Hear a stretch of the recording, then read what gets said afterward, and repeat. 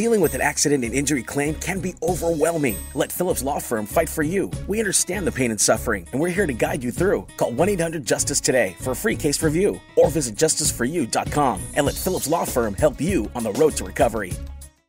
It's after bedtime, the kids are asleep, and the moms are out to play. We're Dina and Kristen, the duo behind the Instagram account Big Little Feelings. I'm Dina. I'm a child therapist and mom of two who nerds out on all things neurobiology and psychology. And Kristen is a parent coach who wrangles three kids on a daily basis, here to give it to us like it is. We weren't meant to do this parenting thing alone. Consider After Bedtime your village. Follow After Bedtime with Big Little Feelings on the Odyssey app or wherever you get your podcasts. What's up? It's your boy, the Ted Smith from the Men's Room. And did you know I have a podcast? Well, I do.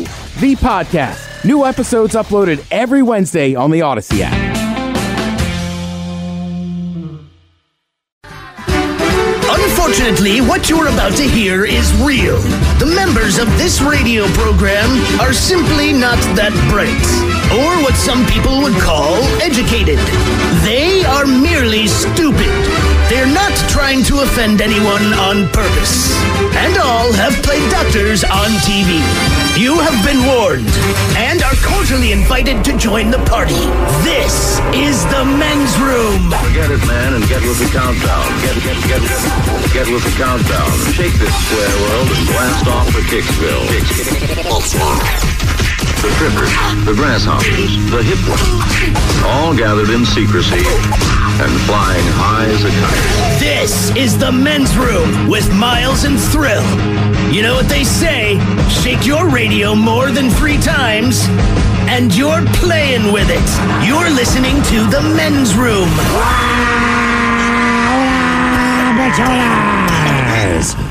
And away we go. Welcome to season 18, episode number 3968. Along with Steve the Thrill Hill, the Ted Smith, and Mike Hawk.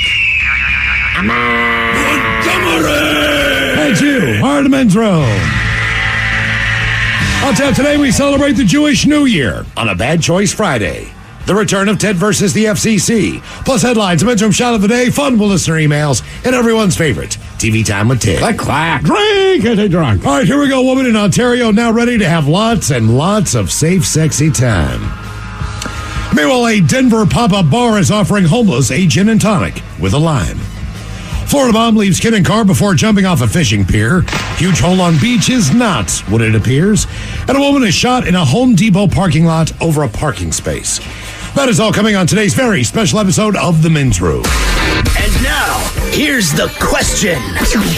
Hola, bitches. Good day to you and yours. All right, for a few years in high school, I made money by selling various stolen porn magazines to other kids cover price. And I made decent money until my mother discovered my little operation and put my enterprise to an unceremonious end. But looking back, I could have made even more money. You see, during a recent Reddit discussion about weird ways you've made money, one of the posters admitted that in middle school, he'd steal his dad's Playboys and sell them to other kids for 10 bucks a pop. He made about a thousand dollars. Someone else made a hundred dollars to spit a shot of whiskey into a man's mouth. But my favorite is a 10 year old kid who made money to read books to his neighbor's depressed parrot. It seems that you can make money doing any damn thing, and sometimes it's even for a good cause. For example, to help workers impacted by the writer's strike, some Hollywood A-listers are offering up some unusual opportunities in exchange for cash, and then that cash will go to the workers. For example, if you have $8,000 that you're willing to blow, you can have dinner with Bob Odenkirk and David Cross. For just over $3,000, actor Adam Scott will walk your dog for an hour. The only stipulation is that you live in the LA area. And for an undisclosed sum, actress Natasha Lyonne, she'll help you with the New York Times Sunday crossword puzzle. Whatever. Look, people are willing to spend money on on weird things. And if you're lucky, you're the one getting paid. And that's at the root of today's question. Today, we want to know what was the best or worst way that you made cash? Be a part of the big show. Call 206 803 Rock. Like the Men's Room on Facebook, follow us on Twitter and Instagram at Men's Room Live, and send your emails to the Men's Room at KISW.com. The debauchery rolls on. You're listening to the Men's Room with Miles and Thrill. 99.9 KISW. All the tells away we go. Welcome to season 18, episode number 3968. What a large and in charge program we have for you today. On this beautiful Friday. It is beautiful. Yeah, the exciting return of Ted versus the FCC. Boy, Ted, last week was a debacle on Ted versus the FCC. It's a little tough for old Montgomery there, huh? Yeah, man, I uh, I could not get it out. I could not get it out. Now you dumped it twice. I dumped it once. Well, Kevin right. dumped Mike, it once. Mike wasn't here, so everybody was very on edge. And then for me, and then you screwed up, and then yeah, we everybody was just hitting that button. Boy, oh boy. but uh, we were up last night. Oh, man, what a late night it was. Coming up with some tongue night. twisters for Ted versus the FCC. Lo and behold, we have a listener, uh, Ted versus FCC submission from a listener named Bryce. Bryce. So after all that work last night, we're going to go with a listener submitted Ted versus the FCC. Oh, what else do we have for you today? Uh, coming up on the Men's Room Happy Hour exclusively on the Odyssey app tonight at 6. You get more Men's Room. You'll also get a chance uh, to uh, hear us hanging out with Tracy Morgan, who is coming to the Clearwater The edited version. Of Tracy Morgan as he is uh, coming to town. Oh, is it? Tomorrow night, Mike. Uh, Mike uh, diced that thing up. Got rid of some of the cuss words and everything He had else. to. Well, the curse word idea, like, yeah, there's a couple jokes in there. I was like, uh, He's a weird man to interview. That, Yeah. That's the best Yeah. way to put it. So Tracy Morgan coming up on the men's room happy hour, and he is uh, he's a very jovial guy. Yes, he is. You know, Yes, he he's is. he- he's definitely in joke mode uh, most of the time, is what we figured out I think that's just where he lives. In his mind. I, think that's how he was think born, dude. Yeah, but he, he explained that. Yes, Yeah, exactly. He did explain He was born funny, Ted. he was born funny. So check out the Men's Room app here, episode number 462 today on the Odyssey app. If you don't have the Odyssey app, download it now. It is absolutely free. Search for the Men's Room. Uh, on the Men's Room page, you'll find everything. Everything that we have to offer from the daily podcast to the weekly podcast that are on there. Four or five different podcasts. We've got a music channel, the Men's Room Happy Hour channel, which runs best ofs 24 hours a day, other than when we go live at uh, 6 o'clock. So all kinds of stuff to check out on the Odyssey app. Keep in mind, that is absolutely free. What else do we have for you today? We will drink and toast to the weekend that is Bad Choice Friday. It's Bad Choice Friday. It's Bad Choice Friday. It's Bad Choice Friday. Hey, man, this is your fault. And we celebrate the Jewish New Year on a Bad Choice Friday with Maroon 5.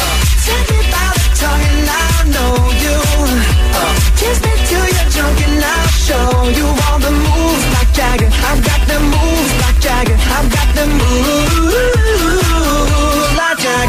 I this. I like this song. Me too. It's it's upbeat, man. Yeah, man. How could you not like this tune? We put a couple bangers up against each other. So we got Adam Levine and Maroon 5 and Moves Like Jagger. Take it on Neil Diamond. Good times never seem so good. So good. Rosh Hashanah meaning Head of the Year in Hebrew is the celebration of the Jewish New Year.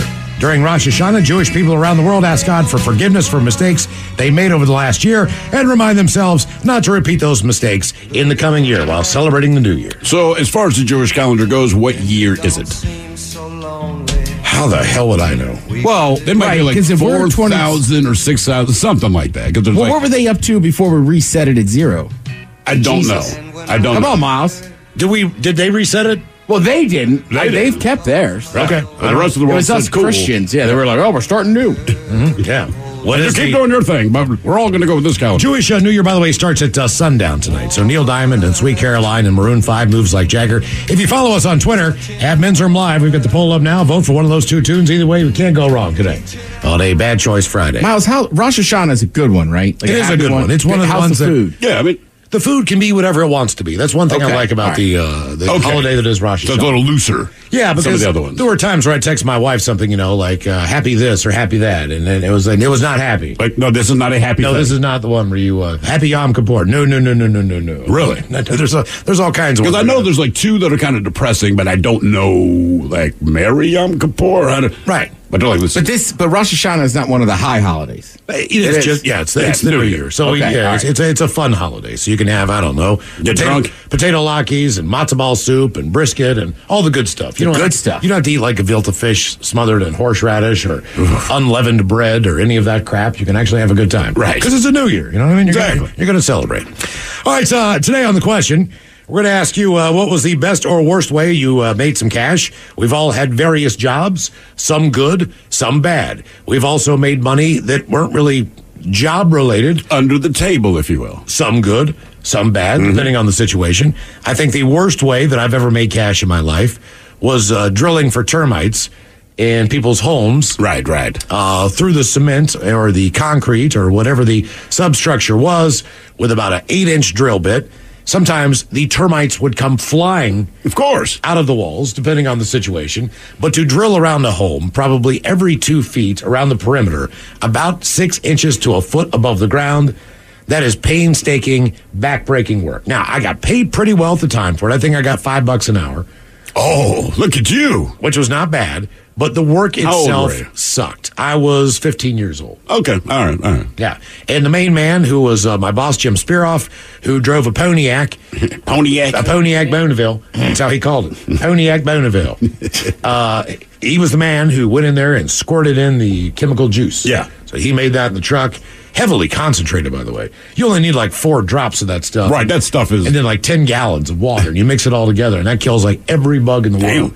It's crazy. It really is. You take basically one gallon of pesticides, and you don't even use a half cup of it for the entire tank that you see in the Jesus. back. It's, it's insane. Wow. But that job sucked, man. From the heat to the bugs that you run into, the fact that you were on your knees all day, you were bent over, you'd smash drill bits, you'd have to drive it into these Right. freaking concrete blocks as hard as you can, bricks, you name it.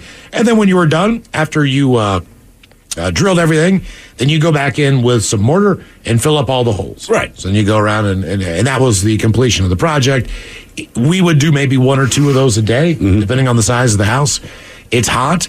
Uh, you have to wear long pants. You have to Yes. wear a long sleeve shirt. It is a collared shirt. It is buttoned up. It is 95 degrees. You are operating a drill with goggles on. The job sucked. Yeah. It just sucked. That- I mean, that's, it was the worst job I've ever had as far as the physical demand. And I was young.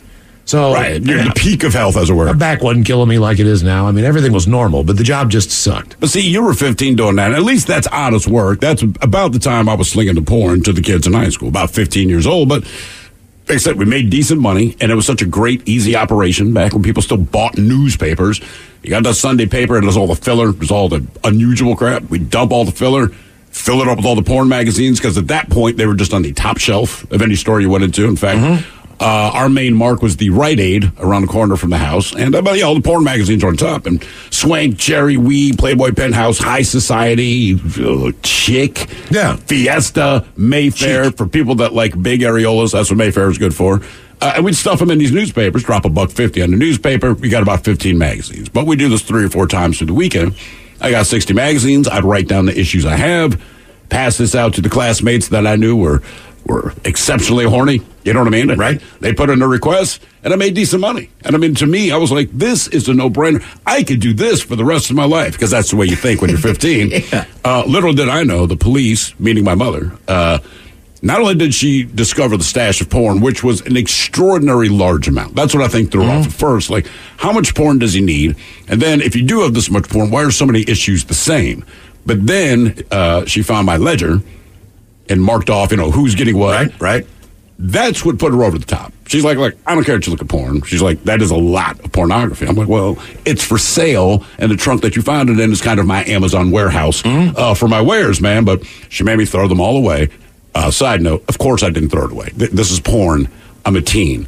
They got delivered to my buddy's house down Sure, the street. sure. Yeah, I did stop the sales because I knew she was going to kill me for that. But the porn, like, I'm not throwing away the I got a uh, sort of The ledger's important. Yeah. the ledger is important, and you know, and she never said anything like, "Hey, side note, while I'm disappointed in you, I appreciate your good business practices. You keep track of everything, who owes you what, how much money you've made." That startled her quite a bit. She's like, "What are you doing with this money?" I'm like, "Well, I have to invest in the newspapers to steal the porn, and otherwise, man, I'm buying soda, I- the I think- crap you buy as a kid." I think one of the best jobs I had was when I was 16 years old, a couple of years later. Uh, I was a runner. I worked at a radio station part time doing the promotions department. All right. But the radio station had a amphitheater that uh, did concerts in the summertime. We would go out there and paint the bathrooms, get the uh, venue ready to go, make sure that you know things got from point A to point B. Whether that was picking up linens for table Yeah. cloths or all the things were required. But I was a runner, so I had a van, and I would go and escort and take people back to the hotel rooms. Uh, anything they needed backstage. Who's the coolest person you got to drive? I mean, I took Daryl Hall fishing. That was Oh, pretty- nice. That was pretty good. That's kinda cool. All right. Yeah, because he's like, "What are you into?" And I'm like, "Well, I mean, I just go Butt stuff. fishing with my friends." You know, he's like, "I love fishing. Let's go fishing. Where's the closest lake?" I'm like, "It's seriously a half mile away from your hotel room." He's like, "I've got two hours," and I've got. I'm like, "Well, my house is seriously four miles away from the venue. We'll go get some poles." So I drove to my house. Nobody was home, which sucks. Because I you would love wanted to knock on the door, and go, "Mom, it's freaking Daryl Hall." but it was in the middle of the day, so got him. Went fishing for a couple hours. How old are you? I'm 16 years old. That, that was why That, I mean that that sucks that nobody's. I get it's the middle of the day, but still to have they were huge. And, and it's not like Yeah. you had a cell phone to take a picture. This is a. No. brag. you know? Yeah. Yeah, no, this was great. They had uh, a Big Bam Boom, I think was the album that they were on. Not the biggest songs off that one, but you know, I mean, all the earlier hits. Right. It's Hall and, and You know, Oates. I mean, all I did was drive John Oates. He was at the hotel most of the time. Ray Charles, Quiet Riot, uh, the whole band or just. oh yeah, the whole band, 38 Special, So when they get in the van, Nel- right, Nelson, are they. Gunnar, and uh, Matthew. do they talk? All right. Do they talk to you, or Yeah. do they mostly ignore you? Oh man, uh, 38 Special got in a fight in the back of the van. Really? Oh, they were pissed at each other. I don't know exactly what happened. It was they said it was they said something about the Donnie Van Zant was claiming it was an off night All right. uh, it, for whatever reason. So Larry Junstrom, who's the bassist, who was a bigger guy, they start going at it. And they were kind of the founding guys in that band. Larry played in uh, Skynyrd, I believe, for a while before that. And Donnie's brother, Ronnie and Johnny, Yeah. were in were in Lynyrd Skynyrd. So they were pissed off about something. Uh, they had a brand new lead singer at the time. Uh, the guy Don Barnes was not in the band that album. They had All a different lead singer who sang a song "Second Chance." Well, I know that tune. Big Yeah. hit for 38 Special, but it wasn't the, exactly the original lineup. I don't know if he was off key. So they all started getting into it. I'm like, guys, I'm trying to drive. You know, like I'm 16 years old. Like technically, I'm not supposed to be doing this. Right. I'm not. I'm not supposed to be chauffeuring anybody. It should be 18, right? At Yeah, least. I, I think the rule was was that you- you couldn't have people in your car, but this was a company vehicle, and I was driving. Oh, who else in the hell? Uh the four tops.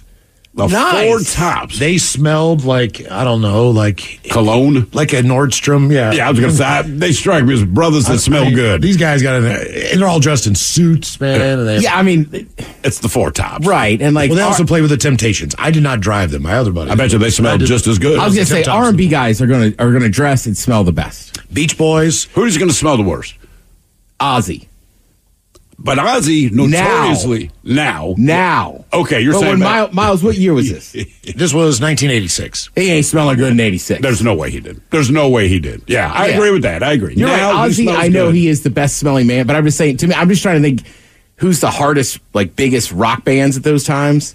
Those bands notoriously stop. I mean, even Motley Crue, they, Nikki Sixx and Tommy Lee, they would go what weeks without taking a shower and made it a point to wear like the same leather pants on stage because their idea was we know we're going to get groupies, but did they like us enough that we pull off our pants and we just reek of of sweaty old penis? Or are they still going to be down? And yes, they were.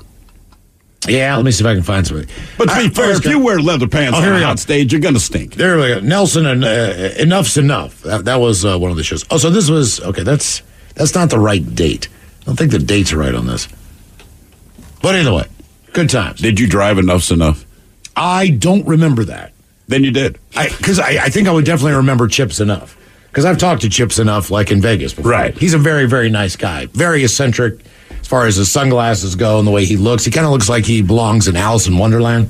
Okay, he's got that kind of vibe going. I got you. Kind of a weird poofy hat. Looks like a chef, you know, but it's all kinds Yeah. of different colors Yeah. and stuff. He's he, he's that guy.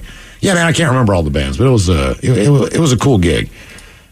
Yeah. I mean, I, I'm trying to remember. So I worked a couple summers at basketball camp for Coach Wootten, Mm-hmm. right? And he would have a lot of big time coaches come in. But Mike Brey, who was the winningest coach at Notre Dame basketball, he just retired. Like, coach was driving, but this was 2000. So those uh, Monte Carlos had just come back. Yeah, yeah, So coach had one of those. So I'm in the passenger seat and we go to pick up Mike Brey. And kind of funny, he's just like, oh, no, Teddy, just stay in the front, man. I'll just hop in the back. You're like, damn right you will. Right. He's like the most famous coach there. And like, I mean, it's for the campers, but a lot of coaches Sure. show up too to learn from these big time coaches. Right. It's got to be a pretty cool gig, man. Yeah. For like the most part. Yeah. That was- wo- working basketball camp wasn't bad at all. Just dealing with kids sucks. Winger, uh, Kix, Trixter, Daryl Hall and John Oates. Uh, what else we got on here? These are all the people you drove. Uh, no, people who played the pavilion. I do not remember Trixter. I don't remember Kix either. So there's a couple of them. That I, I could have. I just don't know if I knew who they were at the time. Uh, okay, fair enough. So fair enough. I definitely knew who uh, who Hall and Oates was and who Winger. Oh, yeah. was. But uh, Winger. yeah. Our question: What was the best or worst way that you made some cash? 206-803 rock. It's a shame you didn't get to kick it with Winger, dude. Did Kip Winger have to sit in a child's seat? I interviewed him in Hagerstown. He that was a- dude is like four eleven. But He's he a is tiny guy. Really good looking dude, man. Is he? Oh yeah, he's he's like got that chiseled jawline. Right. He looks like a Hollywood actor. Like when you meet him, he's got that look that says, "Yes, I'm famous. Yes, I'm very good looking." But then you see him, and he is a very small individual. He is a teeny tiny. So I if he was like an action hero, you would believe it because once you met him in person, you're like, "I cannot believe you're that small." And wasn't he like a ballet guy or something? I don't know. I believe he did like ballet, got into rock music because when they put out the one big video for the song 17, which has not aged well, he's doing all these spins and all this kind of crazy crap. Right, Dude, right. It's, I know. it's bad, man. It's bad. I'm talking, we, in, we went back and read the lyrics to 17 again, and it's like, oh my God. I mean, at, at what point in your life would you even be comfortable singing what you're singing? And I think he said something like, well, I was 23 when I wrote it. Like, yeah, you still go to oh, jail. If you're 16 when you do it, cool. Mm-hmm. It's a couple of songs like that. Mike, your Motley Crue pick. I know. God almighty. She's on the 15. Midterm radio station. Oh, yeah. exclusively on the Odyssey app. It's one of those things. Oh, that- yeah, Mike. Where I've heard the song before, but I just never paid attention Yeah. to the lyrics. Never listened to it on the Men's Room radio app. And I'm like, did he just say what I thought he said? So I pulled up the lyrics. and I'm like, oh my God. I've only got one song with the N bomb. Ed's got like 50. I do. Well, yeah. I, I know. Here the inbound. I don't. I don't sing it. I just listen to it. At least not when I'm in the office. Hey, and look, I did not put Bobby Shmurda on there. If anybody hearing my voice knows what song I'm talking about, I left that one off. what was the best or worst way that you made some cash? 206 803 Rock. At Casper, we want you to have it all, especially when it comes to your sleep. So we went ahead and made everything on our site up to 50% off. Yeah, for real. Even our innovative, extremely comfy mattresses? Yep, they're up to 25% off. Adjustable bed frames? 50% off. Pillows, sheets, bedding bundles, and that super cute dog bed? It's on sale. It doesn't get much bigger than this. Visit Casper.com or a store near you through October 24th to save on everything. Exclusions apply. See Casper.com slash promo. 99.9 KISW. The shenanigans continue. This is the men's room with Miles and Our Thrill. question on this also positive Friday. What was the best or worst way that you made some cash? 206 803 Rock. Hello, Peter. Welcome to the men's room. All the bitches. Hola. Oh, was that a cacaw? My bad. My bad. Right on. So, hey, first I kind of misunderstood the question, but since I've been on hold for so long, I got a really good story. All right. Um, yeah, so sorry, Mike. My bad. Um, uh, I was going to tell him a different story. A- anyways, uh, uh, one, one summer in high school, my dad and his friend were working on fishing boats. And my dad's friend, he was like a supervisor or something. So he got me and then a couple other kids to help with like a summer project for cash. And our job was to degrease and, uh, and sandblast a fishy grease away from like machines that are used inside of a fishing boat. Uh, it, it was insane. Even if you took showers after getting home, uh, you couldn't get the smell off of yourself.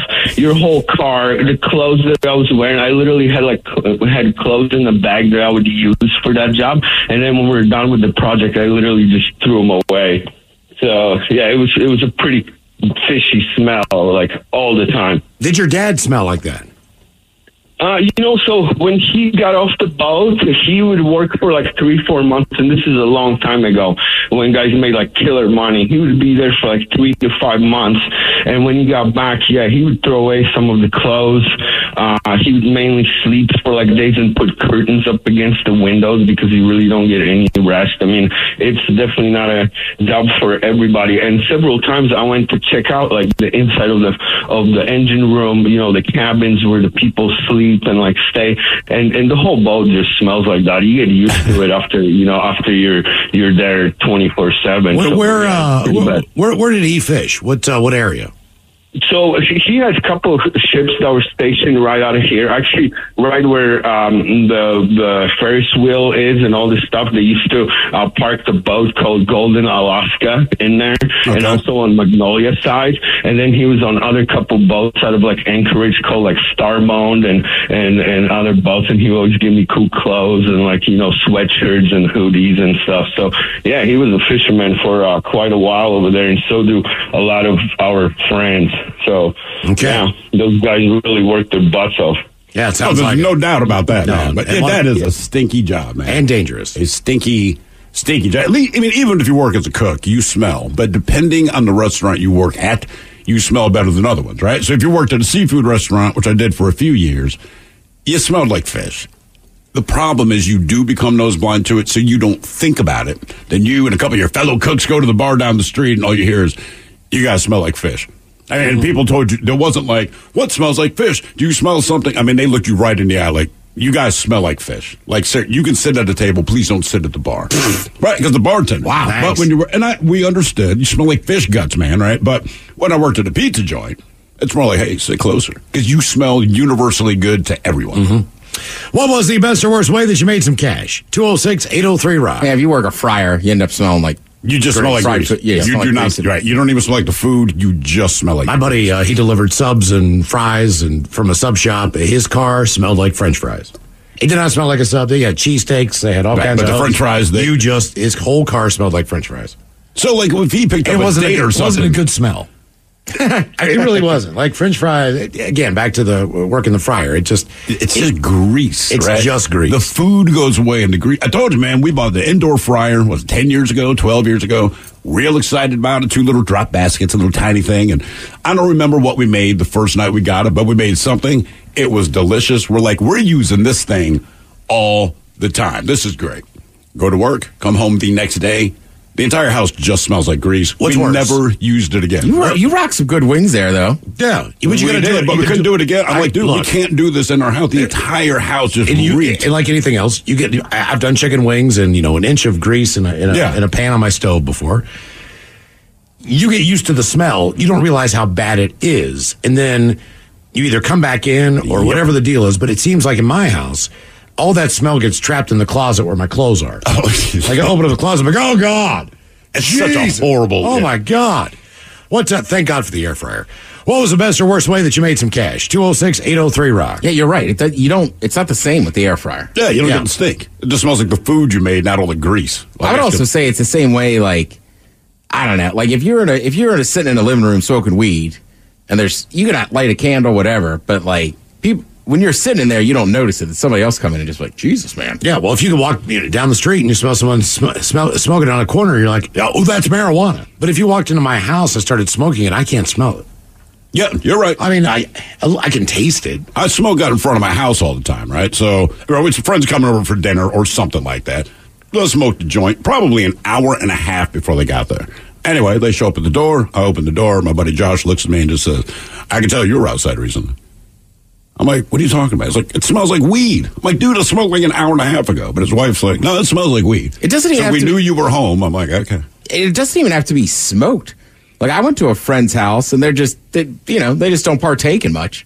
And they and I hadn't I hadn't smoked that day. We were doing something like I specifically hadn't smoked in a couple days. But just having it in my house, they were like, I could smell weed on you. And I was like, Are you serious? They were like, Yeah. I was like, I guess you're. right. It's so pungent, but when you're used to it, you're used to it. We had that problem in our old building. Uh, this is before weed was legal, but somebody dropped us off an S ton of weed, right?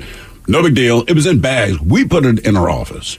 We're about halfway through the show. Boss kicks open the door. He's like, Jesus Christ, guys. He's like, you have to put that somewhere else. Like, put it in the freezer, right. put it in a bag. He goes, the entire hallway reeks of weed. And to your point, that we had not smoked it. This was just Yeah. the loose My, my uncle was in town uh, a few weeks back. We had a guest in, and uh, they gave us uh, some samples of the marijuana that they that they brought in with them. So my uncle's staying at my place. Get home, and as soon as I walk in the door, he's like, "Jesus, man!" And I was like, "What?" He's like, "God, you reek of weed." And I was like, "Oh yeah, I got it in my pocket, my Yeah. cargo shorts." And I pulled out that little vacuum sealed. It doesn't matter. Oh, I had to put that in my freezer. It it, it, it was. I mean, that's it how. was- That's how much. That's how much you rate. Like literally, it's sitting in my freezer right now. yeah, like it, I, I put it in like three or four uh, sandwich bags. We put it. In, I, it you- wasn't enough for my house. Right. No. What was the best or worst way you made some cash? 206 803 Rock. It's behind the frozen broccoli. Hello, Garrett. Welcome to the men's room. Hey. Hey, how's it going, guys? Uh-oh. Hey, so um, about ten years ago, I did a nice little ten-year stint at Walla Walla State Penitentiary. Ten years? What did you do, And- man? Uh, robbery. Hey, call us back, man. Because your phone keeps fading out, and you, we, we've got you. The, the phone system's effing it up. Yeah, you so- sound like a weird computer Yeah. voice. Yeah, we got Call Mickey Mouse going on. Call back and we'll- we'll put like you right back a- on. Yeah, it sounds like you have a real story. I don't want to laugh at your voice. No, I don't either. exactly. I don't wanna be years- distracted by your voice. Ten years in the pen. Okay, call back. call back. what for imitating Mickey Mouse? So what if he calls back and they find out that's his real voice? How bad would you feel like? I'm oh, Miles Montgomery. Yeah. Our bad, dude. Exactly. I went to jail for 10 years for beating up a man who made fun of my voice. I know, right? You're on my list now. And, boy, I hope that was the phone system. You know what, Mike? No more calls. Hello, Tom. Welcome to the men's room. Hola, bicholas. So your story on the food got me thinking about my summers cooking lobsters, but my my story is uh, selling fireworks in high school was really good. I'm assuming this was completely illegal, right? Completely illegal. New York State does not oh, allow Oh, yeah. fireworks. Yep. Yep, yep, yep. You could go to New Hampshire or Pennsylvania, but New York didn't allow it. So, were you driving down there to get them and bringing them back? Oh, even better. I was in high school, a football player, so I had my football gym bag. I would hop on the MTA train in Poughkeepsie, take it downtown, go into Chinatown, go into the little bodegas in the back, and load up a big ass gym bag full of just bottle rockets and firecrackers. But I get bricks of, of firecrackers and grosses of bottle rockets. Maybe they were eight, ten bucks each, and I'd break them apart and sell them to the kids in high school for a buck or two a piece. I made a killing two years in a row. Yeah, imagine you did, man. And no one got hurt, hopefully. Well, nobody lost any fingers, but you know what the funniest thing was? Seeing a six foot five, two hundred and seventy five pound guy walking down through Chinatown with a big, huge duffel bag over his shoulder. Can't believe I never got stopped or questioned. Dude, you're in Chinatown. Like, nobody cares. And that's one of the Yeah. beauties of a place like that. They're like, mm-hmm. you can be up to no good. We don't care. We're not going to ask questions. Were, were you selling them to high school students or college kids in Poughkeepsie? No, high high school. Oh, all right. And was this a year They, round? they couldn't get them. You know, That's right. They had to Okay, go out of okay. state, so they they couldn't get them. But we could, and even if you're right. The Chinese restaurants, you could go in there and order a screwdriver or a White Russian. They didn't care if you were 12 years old. Yeah, did- here you go. That's what I'm saying. It's like, look, there's safe places to do criminal activity. That would be one of my picks. Just throwing that out there. Poughkeepsie, New York? Uh, Chinatown. Oh, And Chinatown. that- Okay, yeah, my bad. I mean, it's just like, look, there, there's a lot of fronts for other businesses going on there. You know what I mean? So, Oh yeah, yeah. whatever Yeah, you you're selling see- up front you would see is. card games going on in the back room where they're selling the fireworks and mahjong, whatever else those games are. Yeah, it was, it was all happening there. Yeah. I mean, like, Mm-hmm. and they're like, look, man, just don't say anything. Like, I have no interest in what you're doing. Just give me the fireworks. And like I and know a snow globe. And right, what's the famous street? Canal Street? Where In they uh, New Orleans? No, in New York Yeah. City, where they Oh, oh. sell all the fake Oh, bags yeah, yeah. and fake Burberry. Right. I mean, uh, Yeah, Can- Canal Street. The Chinatown is Mott Street. Mott M O T T was one of the ones that was big on the fireworks. You know, Canal Street's amazing because in New York City, because like you said, they sell counterfeit everything, which is illegal, but it is essentially a farmer's market of knockoff products. Correct. Are you uh, Are you still in New York? No, no, I'm in Mukilteo. Okay, because I I would have to think like basically what you did with fireworks then is what people are doing with marijuana now. As far Oh, as I know, going over the state lines legalization, and- because I mean there are just pockets where, look, I don't know if it's legal in Ohio. I'm not sure if it is or not. I know it's not legal in Kentucky. I know it's legal in Michigan. I know it's legal in New York. I know it's legal in Virginia and Maryland. But there's a that West Virginia. It's not. There's a handful of pockets. Idaho, definitely not. Right. So you- you're either running drugs in there from other states to sell, you're going out to get them, whatever the deal is. Those states are idiots for not just legalizing it because make the money.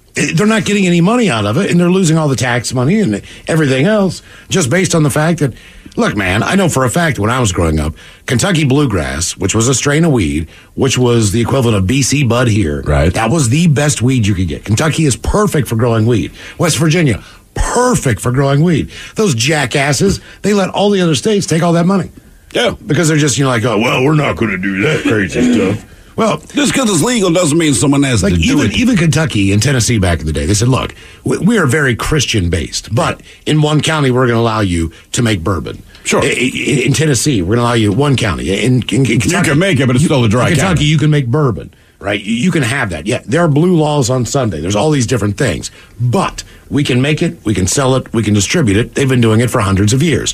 Where West Virginia, they went, that don't sound like a good idea. See, you had moonshiners. Exactly. Again, you don't get the tax money. You don't. You know, you got people running through the woods all the time trying to, you know, this, you know, not get busted by the government, uh, the sheriff, and all this crap. It's like you could have made money off of it. It's made money. You could. I mean, a lot of that is just, and you know this, but it's just politicians. Right. They're just talking smack at- to get elected. Right. And there's like loud voices that are against it. I mean, look, we learned from Prohibition. Number one, it didn't work. It cost a ton of money. There's a reason they reversed it. But I mean, like, right, when you talk about Appalachia and moonshine and stuff, you're talking about Scots Irish. They couldn't, nobody wanted them over there. They go to New York City, but they made whiskey. Mm-hmm. New York City says you can't do that here. So finally, they end up down there in Kentucky, West Virginia, like, will you leave us alone now? Just leave it alone. Right. And they did for like, what, 100 years. But then as it gets more people move down there and this and that, right, then you get all these weird blue laws and stuff. And it's like, well, your states are kind of founded by these people who that was part the of country. Their, that's part of their So, culture. Yeah, some of that stuff, like even uh, Kentucky wise, they. I can't remember if it's Knob Creek or what company. It might be Buffalo Trace, but they have a lot of. I think it's Abraham Lincoln's. The old family recipe, right? Whiskey recipe. that Yeah. Used for like one of their bourbons or Sure. whatever the deal is. Like his dad or somebody. But it's been going on for a while now. That It was legal then, you know? And then, right, yeah, I mean, prohibition ended up making a lot of things, I think, kind of cool. like, like women started being able to go to ball, bars, like not just, like Right. saloons were just for men. Like black and white people started hanging out in the same place. The rise of jazz because these clubs are underground. So it's like, who cares who comes in? But if you're a race fan, also bootlegging brought you NASCAR. Okay. Huh. Because they had to they had to make faster cars to outrun the cops, and then they had to change the suspensions and stuff because they had the booze in the back. Really? Yeah. Hmm. Well, I'll be. Da- what show did you learn this on?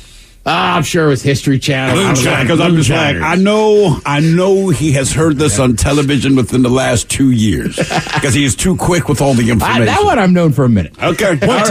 uh, what was the uh, best or worst way that you made some cash? 206 803 Rock. Hello, Greg. Welcome to the men's room. Hello, Greg. Greg. Hey, Greg's gone. His There you phone go. donged us. Hello, Willie. Welcome to the men's room. Hola, fellas. Hola.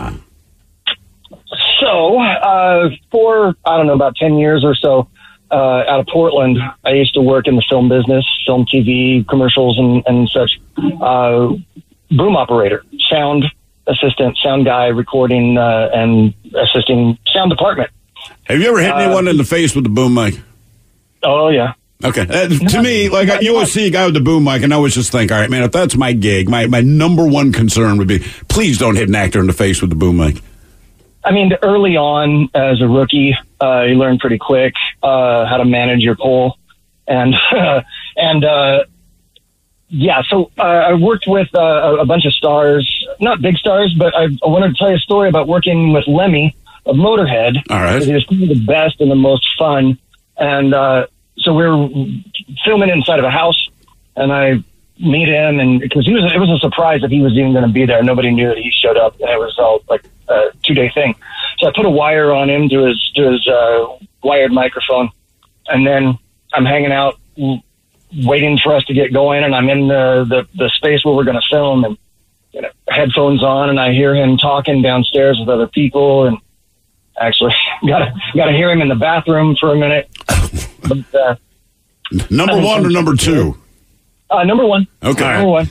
Um, but uh, yeah, I got to just got to hang out with Lemmy on set, listen to him talk. Uh, understood about understood about every fifth word that the that he would say, and I couldn't stop looking at the mole. I had to like I couldn't help it.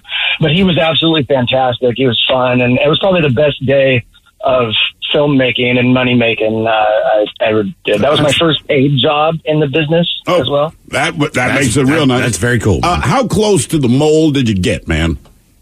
Oh, I was sitting right next to him. We sat and uh, it, it's long story, but his character didn't have any dialogue. He didn't have to memorize anything. He just got to, uh, you know, free, free, free relate with the actors. So we're we're sitting in the room waiting for them to they're lighting and they're and they're setting up the, the shot and everything. And as the sound guy and boom guy, my job is to sit and wait until we start rolling. So I just sat there and chatted with him while everybody else ran around. He had uh, his his writer for that shoot was uh, he'd been up at Bumbershoot, and they called him to come down to Portland. So for two days, uh, a particular brand of like Lay's uh, ruffled barbecue chips every day, uh, Marlboro Reds, of course, and a bottle of Jack every day. That was his. That was his rider. My man.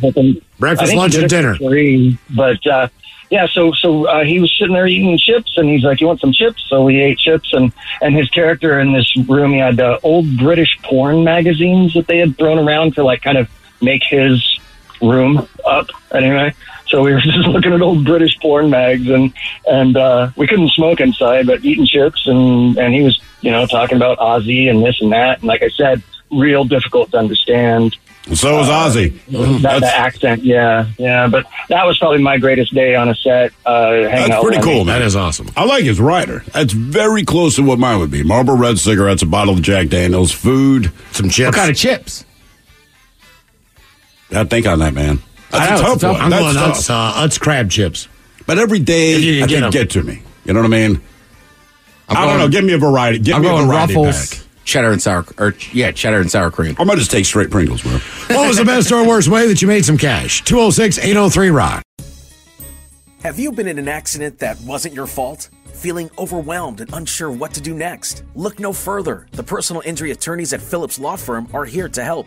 Phillips Law Firm understands that accidents can turn your life upside down. That's why they're dedicated to fighting for the compensation you deserve and to making the process as stress free as possible. Don't wait any longer. Call now 1 800 Justice or visit justiceforyou.com.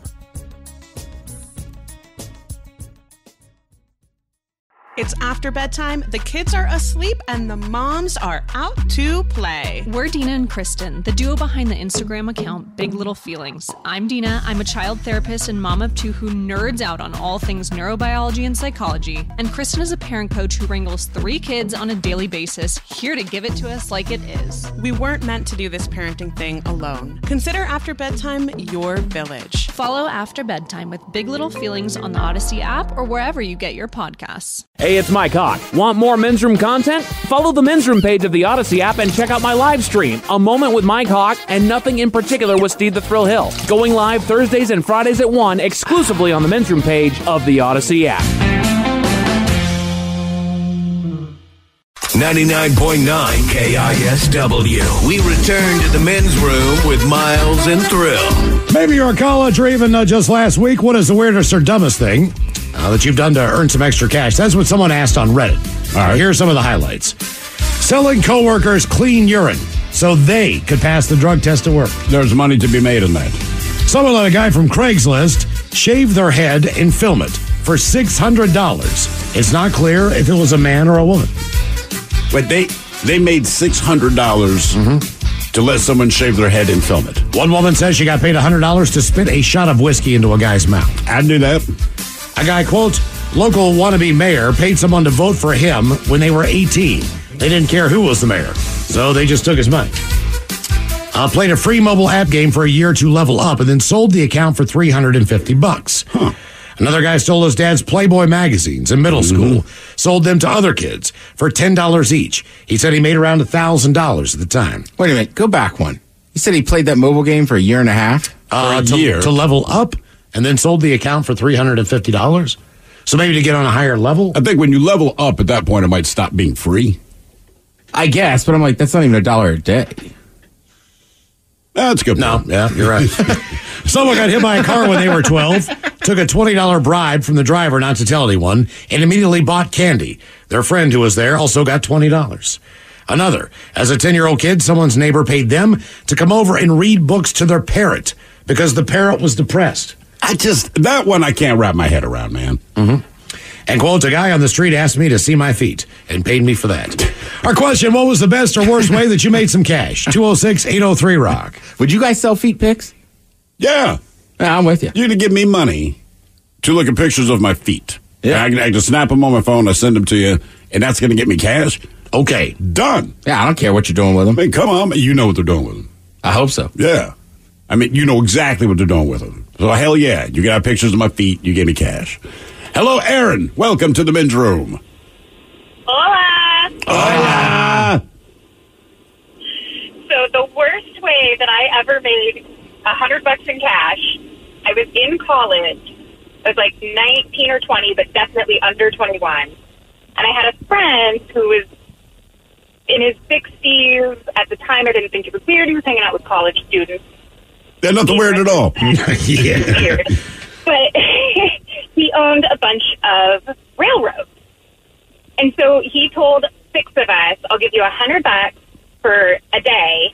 I need someone to help me drive spikes back down along this stretch of railroad. Wait, he needed someone to help him ride a bike back down the stretch of railroad? Drive the spikes. Oh, oh. Drive the spikes. Okay. Sorry, sorry. right. I was like, ride a Yeah. bike. Okay. Okay. Drive the spikes. So, so, so slamming this mallet down over and over. Um, and so we were all like, yeah, 100 bucks for a day's work. That sounds great. It ended up being a 15 hour long day Oh, God. with no food, no bathroom that we could use because we're just in the middle of nowhere on this railroad. And at the end of the day, he says, thanks so much. I'll buy you all a beer. And I was not 21 yet, so I couldn't get into the bar with them. Did everyone else get in? Everyone else got in. I was the only one that was underage. Where in the hell did this happen? I got to ask. Uh, in Spanaway. All right, because I'm just thinking to myself, I'm Driving as- railroad right, yeah. spikes, unless you're calling from the 1880s, Right, yeah. that's not a job It's you like hear about. calling me to fill potholes. Right, exactly. Yeah. It just seems like that should be someone else's job to do that. I don't. I don't know. But no, this dude's whole like whole vibe was railroad baron from like a century previous. yeah, it sounds like a chain gang to me. Okay. What do you do for a living now? I fix vending machines. You fix vending machines. Yeah, I fix vending machines. All right. Her phone won't let it say machines Yeah, fully. it- for whatever, your phone's like, no, you cannot finish the statement. Yeah. I fix vending machines. I don't know a lot of vending machine repair people. I don't either. Off the top of my head, I don't know that I know anyone that repairs vending machines. We used to have. I know our I know our bosses don't. Yep. yep. Is that thing still there? or Is it gone? No, oh, no, oh, it's been gone forever. I forgot. right, but like there is people back in the office. Just sometimes it's nice to have an option That's all. to get a, a, a soda, a some little snack. water. Just drop a buck fifty, but no. Uh, you were just talking about would you sell pictures of your feet to someone Mm-hmm. for money? Someone here says my wife and I used to sell her feet pics to this horny old Indian man. She is tiny, size five feet, and these dirty old men love that s. Yeah, that's my problem. I got short, stubby, weird feet like a hot, like uh, not what are hobbits? I guess like a hobbit. Yeah, hobbits. Yeah, it's like I don't think anybody's paying for it. Well, you Somebody never know. out there, Sure. somebody out there would give you money for it, man. OnlyFans. Yeah, I mean, I'm sure there's special specialized stuff on there. There's got to be because I'll see some people that say they're on OnlyFans, and I'm like, why? And then you realize, okay, Yeah, yeah. you're part of a subgenre of people that are uh, into that particular attribute that you have. I'll leave it at that. I had a, uh, I, I know a guy that uh, his his girlfriend quote uh, whatever she is uh, she's a kind of a hippie chick All right. so she got hair under her arms and all that stuff and that's kind of her thing and people spending money. hair on her legs you know like just just she's just natural and and that's a big thing apparently on on her uh, Well, she, hey. she does very very well Really? Yeah Just being hairy. she's tatted up she's hairy and she's got dreads and Tatted, hairy, and dreads. you know, like you know, hoops in her nose, and exactly what you think. But that, that's the look, and that's and she has an incredibly big uh, clientele base, I guess. Really? Because a lot of times. I will ask where she is and why she's not at the bar, and the response will be, "She might be here in an hour, but she might have another client." Making money, right? Yeah, so like you know, I guess however long they buy time for, and whatever they schedule, and if the money's Oh, right, you get like private shows too. yeah, exactly. I guess that's what she does. Let I still haven't signed up for one of those. What OnlyFans? Yeah. What would you go for? Just big breasted blondes? Yeah, I mean, right. Be the same thing. Yeah, right. That's just like, yeah, I'm like, I, it. I turkey sandwich. I don't. Right, I don't need to talk to her. I, I Mayonnaise. could just. I could just watch a video. The last thing I'd want to do is talk to you. You know what I mean? Like, just to make the video, we'll call it good. Uh, here's one for you. So, the best or worst way that you've made money says my dad got paid two hundred dollars to unclog a toilet with his bare hands. Back in the day, that was a lot of money. Boy, I hope so. Did, oh, they're probably right. There was no plunger. Somebody just said, "I'll give you two I hundred will to give it." you two hundred dollars. Please do this. Ah. I don't know. What was the best or worst way that you made some cash? 206 803 Rock. I don't know, man. If somebody gave me How much? It ain't gonna be two hundred bucks. a few G's, What are you talking about? I'd, I'd, I'd, I'd clean out a toilet with my bare ha- hands for 200 bucks. For two hundred dollars, Sure. brother. A toilet. One toilet, yeah. If it's I'm gonna clogged up, have yeah. you. I'm gonna have you on retainer. Uh, just You'll based, give me 200 bucks. based on my children. They're All like, look, look at this thing. I've told you about it. Look at it with your own eyes. Can I put gloves on? Of course, you Bare put gloves hands. on. Well, I mean, Well, he chose to use bare hands. No, no, no, no, no. $200, That's no. part of it. You can't put a glove on. All right, can I can I can I trim my nails first? Yes, Sure. but no all right, gloves. yeah. Okay. No gloves. Yeah, Yeah, I 200 have to put a glove on. I'll get in there for 200 bucks. We How- need you at the local bus station to go into the into the into the public b- restroom. Bus station there. costs more. Yeah. Bus station, I'd- twenty thousand dollars in cash. Would you- would in you- cash? would- okay. in in in advance. Yes. I think it's easier if you know who the person is. Right. Are you sure? Yes. it? Because Yes. Yeah. Someone, Yes. Steve Yes. Stoffberg. I mean, You know who he is. I do know He's who a he very nice guy. We're not close, He was though. four hundred pounds. like if my grandmother did this and there was no plunger, then yeah, I'm going in. Ah, Right? yeah, of course. I mean, I'll, I'll probably put gloves on. But See, I would. I always like stuff. I do. I like. I kind of. I, I. I don't mind. So you're saying you would do a discount for Stoff because you know the guy? He's Yeah. a great guy. I really, really like this guy. How A about lot a of respect. How about a VD veggie poop toilet? Oh, That- see, that would worry me. I wouldn't be worried about it because I never see him eat. Where I would be more worried uh, about, like you know, like super health food, like just. and do you think it's going to be worse? I do. Maybe. I mean, my daughter pretty much subsides on fruit. Like that is her go-to, and I do not understand how her body processes it, but it is it is different, and it is it is a lot. Yeah, she's. And Uh, it is and it is big. So I called her Fiber King. I always want to ask her, Hey, like, Fiber King. hey, baby, does it hurt? And she says no, I'm like, oh my god, man, it's like half a bowling ball sitting in there. But I tell you, you'd want extra money for that. Mhm. Just saying. Hello, Gary. Welcome to the men's room. Hola. Hola. Yeah, I was like 23 years old. I just got out of the army. Never had a job yet. And I started dating this. You know, she's three or four years older than I was. She got me into stripping at her sister's wedding or bachelorette party. All right. How much money did you get for it? Ah, they gave me a hundred bucks, bought me a banana hammock, and gave me an eight ball of white powder. A banana hammock and ago? cocaine. How did you do? I Did uh, are you a pretty good dancer? Um, well, the banana, uh, they never got past the banana hammock. I'm, uh, well along like 10 inches. And, uh, but anyway, the best part I got paid. I got the mother, I got the bride to be, and I got my girlfriend. All in the same bed. So wait, the mother of the bride to be was in bed with her own daughter. Both their, both of her daughters. Both of her daughters. Yeah. So wait, the three women in The your mother bed, was a freak. two were The mother was sisters. a freak. Yeah, yeah. It's seeming that way. Mother was a freak. A freak. Where in the hell did you grow up, man? Longview, Washington. All right, Longview. You fought through the smell and the smell. Wow, man, that's uh I don't even know if I could pull it off. I couldn't either. Like, wait a minute. You, you guys are sisters? Yeah, but our mom's joining us. You know, just like, ah. It's cool. You know Yeah, what? that's- that's- I'd give it the college try.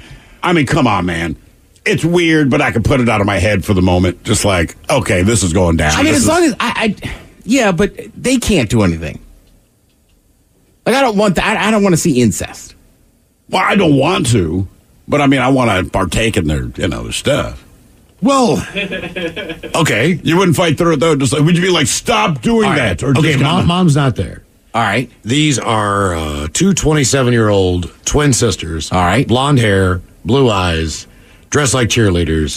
All right. and you're going to go in bed. But the deal is they can't touch each other. I, I mean, I'm sure their hands will meet touching stuff on me. Okay. All right. I don't. I don't like. It's not to me. That would be a different than like having just two random chicks there, where it's Sure, like, yeah, make, yeah, make out yeah. now. Right.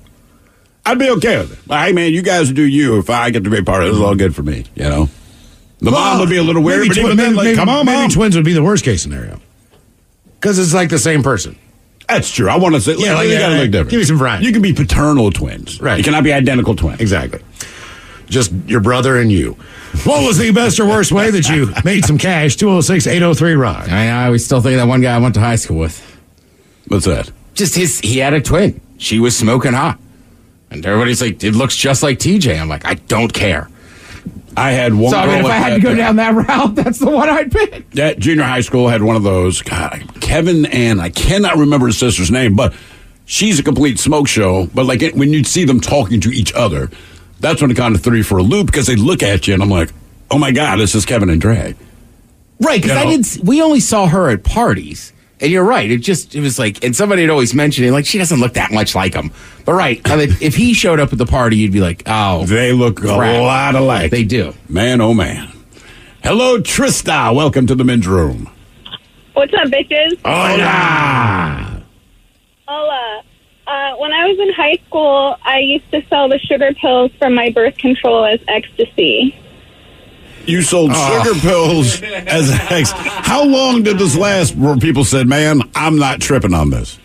No, I had people that were like, dude, that was the greatest trip I ever had. I need to buy more. and it's birth control, so I only got seven sugar pills a month. So it would also be like the short supply and demand kind of thing. Like, and they were imprinted with the, I don't know if you guys have ever seen birth control pills, but they're like spliced and imprinted.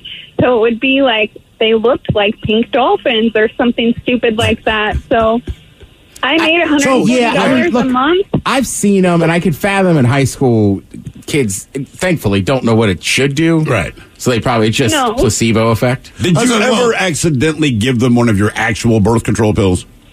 No, I made sure not to. And they were different colors. The sugar pills were like, it was either one was pink and one was white. So the sugar pills were either Right. white or pink, and then the regular ones were the other. But And, and, and those are the ones you take while you're menstruating, correct?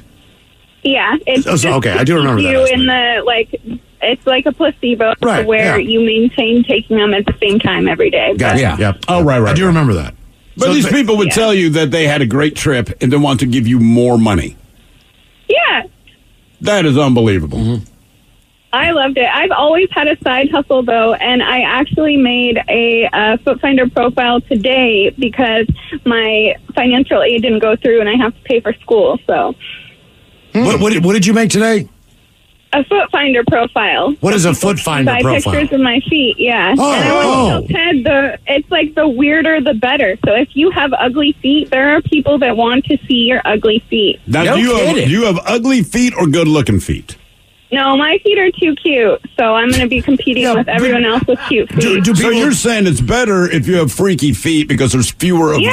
those, and therefore the people that are into that, you're, you're one. I mean, a few weeks ago, I did get a pedicure. I still got a little bit of the clear coat on there. Yeah. Do people ask you like to smash a tomato with your feet or dip it in peanut butter? Ah, hang on, hang on there, we're- Once again, bedroom colors, here are the seven words you can't say on the radio. Sucker, mother, and please keep those words in mind when calling. Now back to the program. All right, Trista, what's I'm the, so sorry. It's all right, it's all right. What's the weirdest thing you've had to do with your feet so far? No, I just made my profile today. Oh, you- so all I'm just brainstorming ideas. So, What do like, you- what would you guys want to see? Your boobs, frankly. oh, my my feet squish my own boobs. All right, let me ask you. Let me no, ask we're Let just ask not, we're just not we're just not feet people. Okay. So I'm like, I, I would we would just rather see what you look like. Let me let me ask you this: Uh. How much money would it take for you to go outside and film yourself sticking your bare foot in a steamy dog pile in a Oh, yard? God. Like how much money? So barefoot. Right. There's a steamer right there, hot steamer, and you uh, I want, you gotta smash I want your foot. rent for a year. I want Rent for a year. All, all utilities paid, everything, and I'll do it. For one time stepping in dog poo, I have Yeah, a what's full your I mean. I have a career. I'd do that for five hundred. no problem. Like, hit me on my Venmo. I had to clean up. I had to clean up dog poop the other day, and it made me gag. So I could not imagine putting it between my toes. So I imagine you'll get a lot of food requests. What would be my thought? Like Again, I think it's better if it's your own dog. I don't know why that is. I think I'd feel more comfortable about it knowing, like, look, I, I pick up this dude's poop anyway. Right. You, So, so what's you know difference? where that dog's been. Yeah, I do. And I know what it eats because I feed it. What would you What would you be unwilling to do with your feet on a video for a request? Like if I want no to, puke. I want to watch no, it. like well, yeah. not a lot of uh, like bodily fluids. I'm not doing that at all. But I mean, I'm open minded. So What about? Uh, I'm thinking you're going to hit the food world a lot, man. Whipped cream, watch Jello form around your your bare feet. By the way, I'm, I'm just curious, but how the situation uh, works these days. But why was your uh, financial aid rejected? oh, because I uh, forgot to fill out a form. All right, that's how it goes. Typically, if you sign up for financial aid and you qualify, that's not really. But if you don't fill out the form, yep, there you go. What was the uh, best or worst way that you made some extra cash? 206 803 Rock. Real quick, I, when you were setting up that question, I thought you were going to ask her, like, what happened to just getting a part time job? That sounds to me like it could be a part time. No, I know. And look, sex work is real. I'm just, it's just funny to me. She's like, well, I'm going to have to sell feet pictures now. I mean, that's fine. I'd just be more interested if it were or vagina or boob. Me too. You know what I mean? Like, hey, man, just hey, look, go do your thing. I'm glad there's the feet people out there. I'm, I like the body parts that are covered by a bikini. I That- clamp that is stuff. where I my- clamp stuff on my nipples. Whatever you want. me to Whatever you- yeah, yeah. I, it's mean, cool. I, I got them. I mean, I, it's not my thing, but again, I'd sell them. Eh, Yep, in a heartbeat. Yep. But th- you have messed up feet because, according to her, you will make more money than she will. what was the best or worst way that you made some cash? 206 803 Rock.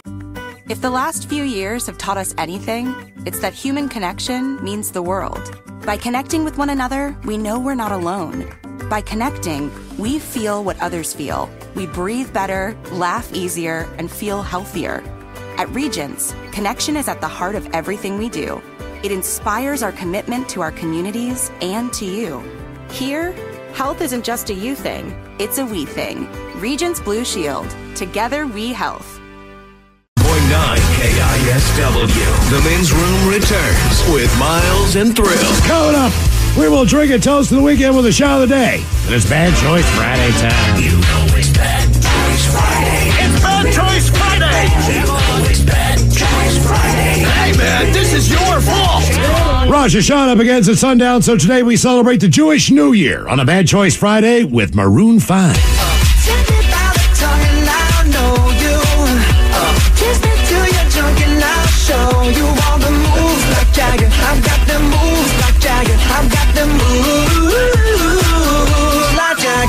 Do you? I don't think anyone's got the moves like Mick Jagger. He's pretty unique in his dancing style. Yeah. It's not really like dancing. He's just kind of, yeah, man. He's he's all over the place. He's just doing whatever it is he does. Yeah. Maroon 5 moves like Jagger, taking on Neil Diamond. Good times never seem so good. So good. So good. The Jewish Elvis, Neil Diamond. Taking on Adam Levine and Maroon 5 as uh, Rosh Hashanah begins at sundown. Vote now if you follow us on Twitter at Men's Room Live. One of those two tunes coming up right after we drink and toast with a shot of the day. You guys will get this joke, but last week we had, uh, oh, who are we playing? Jimmy Buffett. Yes. Right? In Margaritaville, you know, salt, salt. And then that one you can, you know, so good. And I'm just like, there's this place, you guys know it well, Dewey Beach. And like, you get day drunk, and people will sing those two songs over, Over Yes. and over. So like two weeks in a row, I've been transformed there. give me an orange the beach. Yeah, give me an orange crush. What was the uh, best or worst way that you made some cash? 206 803 Rock. Hello, Eddie. Welcome to the men's room. Hola, boys. Hola. All right, so uh, I grew up in Arizona, and when I was 18, I uh, went on an all-night cocaine bender. didn't sleep, didn't sleep, and uh, I was working. I was trying to figure my life out. I was working for like day labor places at that point in time. So without getting sleep, I went out to this uh, one job site that they sent me to, and it was on a construction site. And I got there, and the superintendent looked at me. He hands me a pick and a shovel, and he goes, "I want you to dig a hole straight down, and I'll be back for you in a few hours."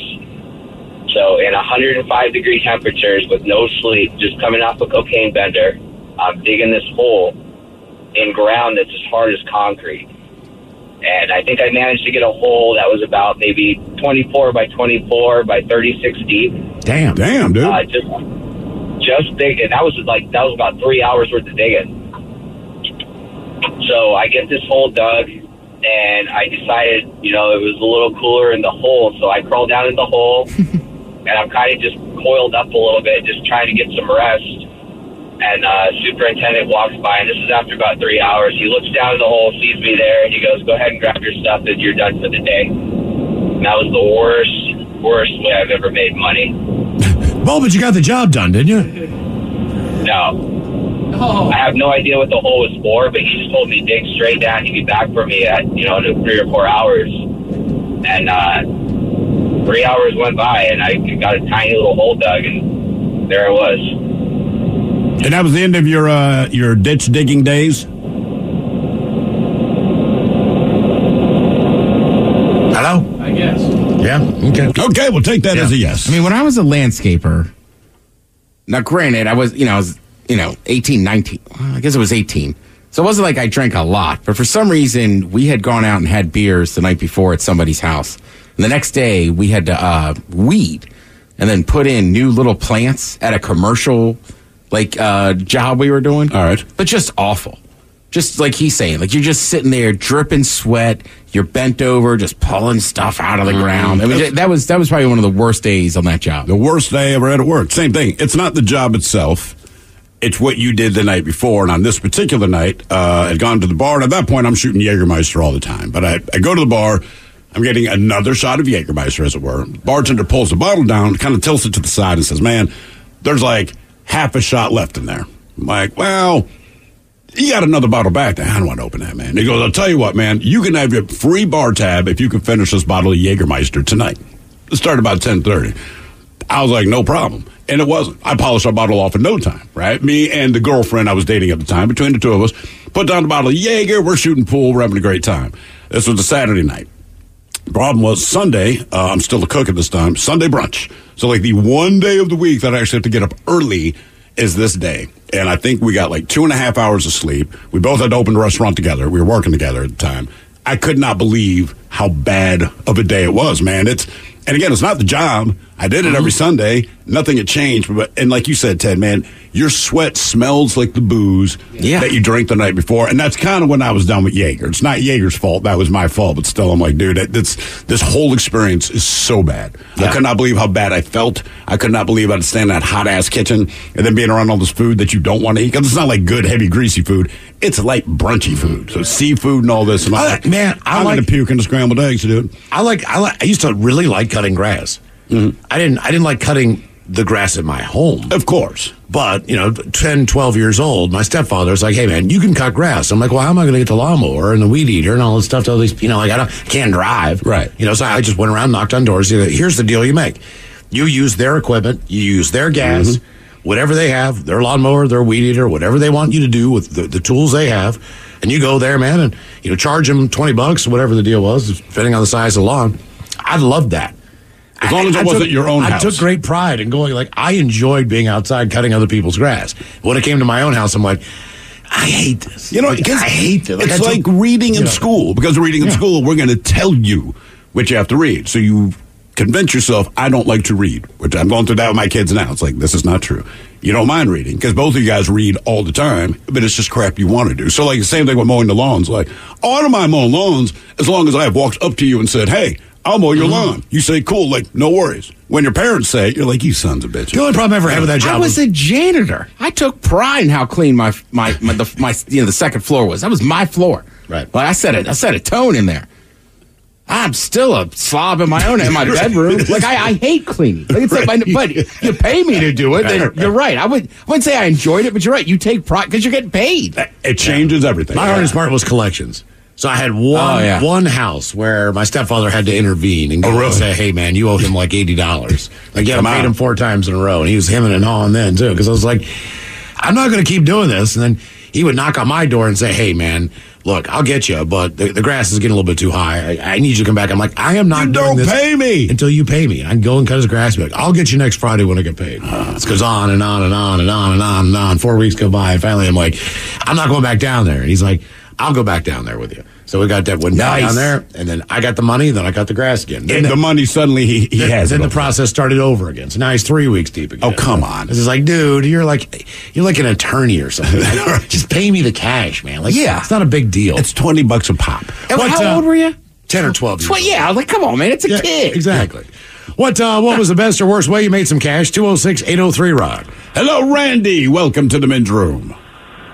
Hola, fart knockers. Hola. So I used to make explosives um, to to pay for my fireworks.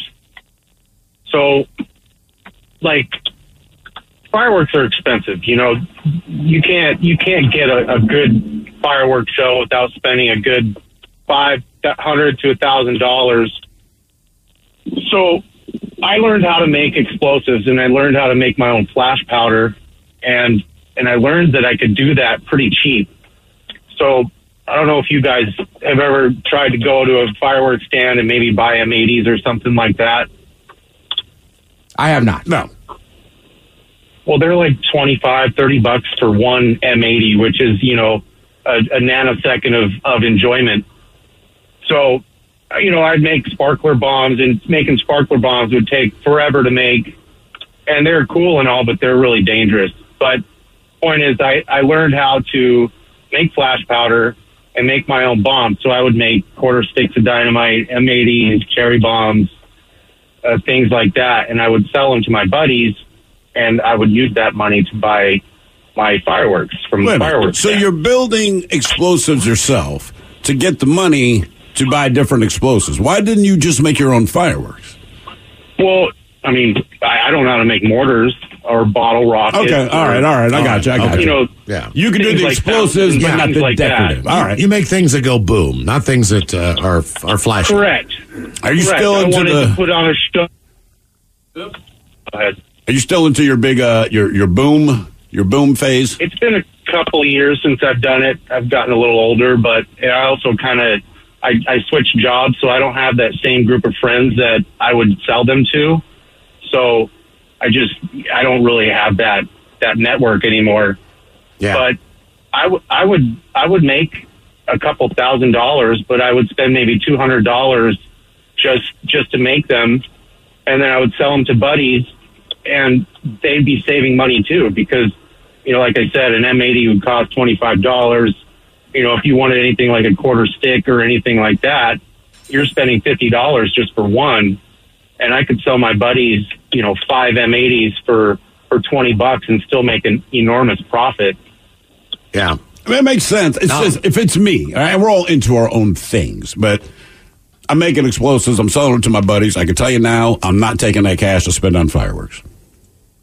Like there might Yeah, be drugs, yeah, there might yeah. be porn, there might be drinking, it might just go into the bank. I don't know, but like if I'm already making explosives, I'm not taking the cash to buy different explosives. I just wouldn't want to. I don't know. I feel like if I got caught selling fireworks to somebody, that's one thing. That's one thing. But I feel like if I got caught selling a quarter stick of dynamite, it'd be like, like I feel like the cops are a little more interesting. If it's homemade, right? That's going to change yeah, like that, everything like, about I, it. I don't know. Feels like the alphabet boys are going to come down on you. That that that would be my sense of it because they they want to see what your intent is. Right. I mean, this guy's like, look, I'm just trying to make money on the side to buy fireworks. They, so yeah, we hear your story. We're going to do a deep dive. Right. Let's see. That's You why what I we, mean? we used to we used to hide them and take them camping. That was that was our deal because you know we'd we, we'd go seven eight miles to set up camp or whatever, and we like we said we we would do loops. Yeah. So we don't want to carry fishing poles or any of that crap. So you just get to the water, you find a hole, you got a quarter stick, you know, four F gunpowder, throw that bad boy in. The the wick is waterproof. You crimp the edges and you basically cover the whole thing in paraffin so it's waterproof with copper pipe. Throw that damn thing in a hole and whoop, whoop, whoop, whoop. and all the fish just you just wade in there, man. See what comes up. Some catfish sometimes, trout, turtles. Whatever it was, we would just scoop it up, throw in the pan. Somebody's doing that right now. I just I think I saw it yesterday. And Well, it was I don't remember where. You, Right. you, if you have noodles, you're boiling water. eh? You want some damn fish or meat or something. So we would just just bring a scale and do it that way. Yeah, yeah, yeah. Because you can put a whole trout in a pan. You don't have to do much with that. What was the best or worst way that you made some cash? 206 803 Rock. Hello, Woody. Welcome to the men's room. Hola. Hola. How's it going? Doing great, man. Positive Friday. So, uh, you guys been talking a lot about feet picks. um, I managed to sell a pair of socks, used socks, to a man that found me on the internet. Are you advertising your used socks, or did this guy see you on the internet and say you look like a dude whose feet has some sexy, I- sexy socks?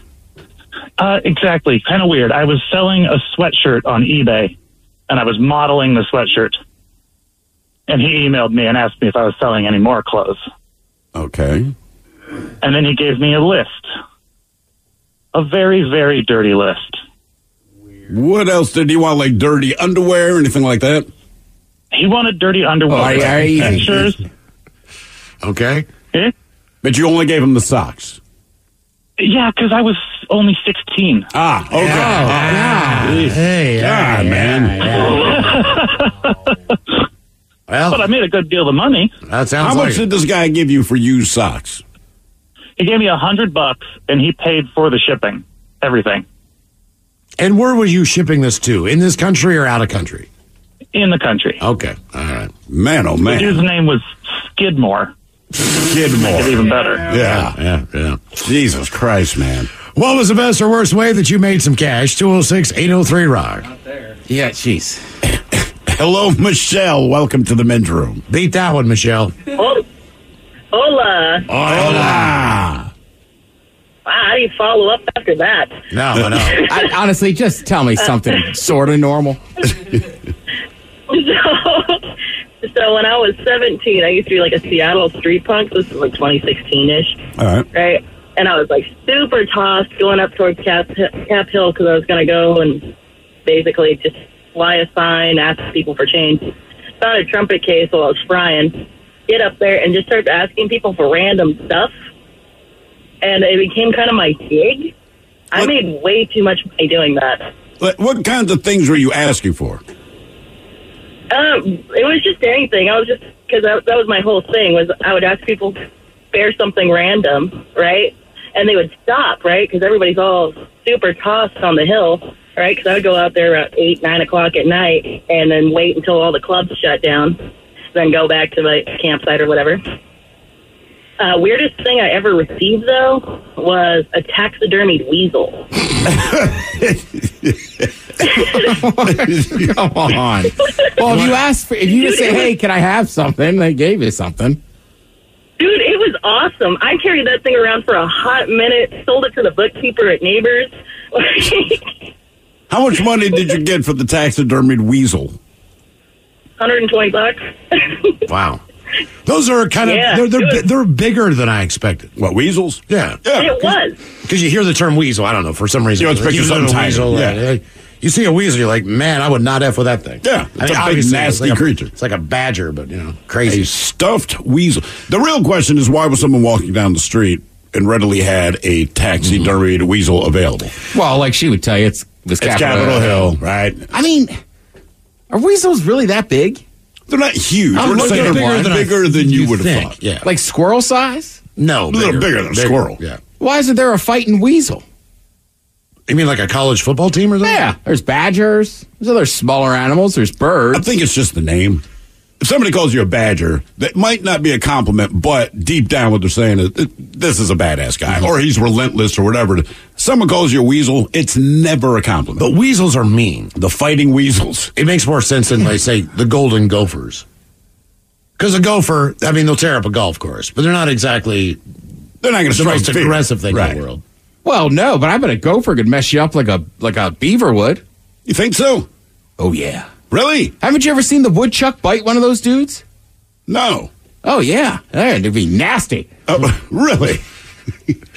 What was the best or worst way you made some cash? 206 803 Rock. Hello, Rory. Welcome to the men's room. Liquor and whores. Liquor and whores. So, uh, yeah, I was in high school, I think, uh, junior year, and I was a teacher assistant in an art class. And I had seen some old movie where it was like some Jamaicans in like Central Park would chew up, uh, like yellow pages and then put them in a bag and sell them like weed, right? so my dumb ass went out and because we had phone booths, and I ripped up some yellow pages, chewed them up, and I put them in a bag. And I'm like, oh, this ain't gonna work. So I went to our airbrush machine, and I mixed up some uh, like lime green, like a perfect lime green, right?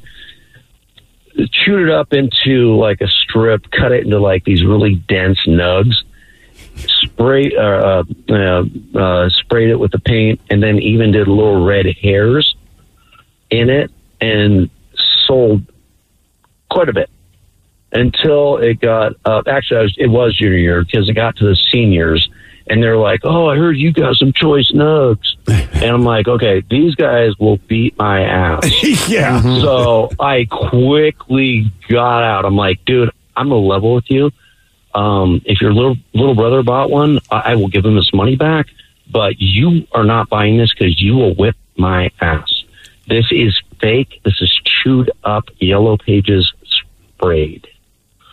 So I made I made a good chunk until it got you know further up down the line. Yeah, I was going to say that can only last my life.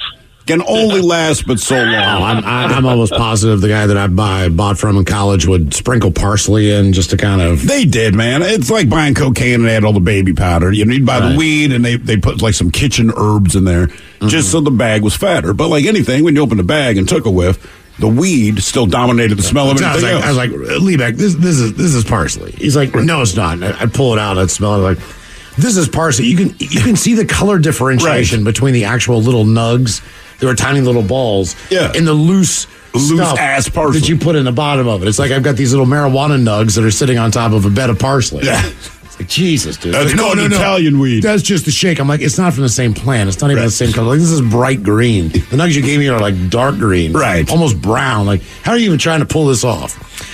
What was the best or worst way that you made some cash? We've got your emails coming up next from the men's room at KISW.com. Superstart Battery Month at O'Reilly Auto Parts. Get up to a $25 gift card after rebate with the purchase of select Superstart batteries. Our professional parts people will test your old battery for free and recommend the right battery for your vehicle. For power, performance, and reliability, choose Superstart batteries only at O'Reilly Auto Parts. Oh, oh, oh, O'Reilly Auto Parts. Have you been in an accident that wasn't your fault? Feeling overwhelmed and unsure what to do next? Look no further. The personal injury attorneys at Phillips Law Firm are here to help. Phillips Law Firm understands that accidents can turn your life upside down. That's why they're dedicated to fighting for the compensation you deserve and to making the process as stress free as possible. Don't wait any longer. Call now 1 800 Justice or visit justiceforyou.com. Therapy is known to be extremely helpful. But have you ever tried eavesdropping on someone else's problems? Listen to the new podcast, Say More, with Dr. Sheila, starring Amy Poehler as the world renowned self proclaimed couples therapist. You know, it's funny. As I was making the appointment to come I'm- today, I'm sorry, I made the appointment. I made the. I, I booked. I booked the appointment. Listen to Say More with Dr. Sheila on the free Odyssey app or wherever you get your podcasts. What's up? It's your boy, the Ted Smith from the Men's Room. And did you know I have a podcast? Well, I do. The Podcast. New episodes uploaded every Wednesday on the Odyssey app. The debauchery rolls on. You're listening to The Men's Room with Miles and Thrill. 99.9 KISW. Coming up, the weekend is almost here on this Yeah. positive Friday. We will drink and toast in the weekend with a shot of the day that is Bad Choice Friday time. It's Bad Choice Friday. It's Bad Choice Friday. It's Bad Choice Friday. Hey, man, this is your fault. Jam on. The uh, Jewish New Year begins at sundown, so we celebrate Rosh Hashanah on a Bad Choice Friday with Maroon 5.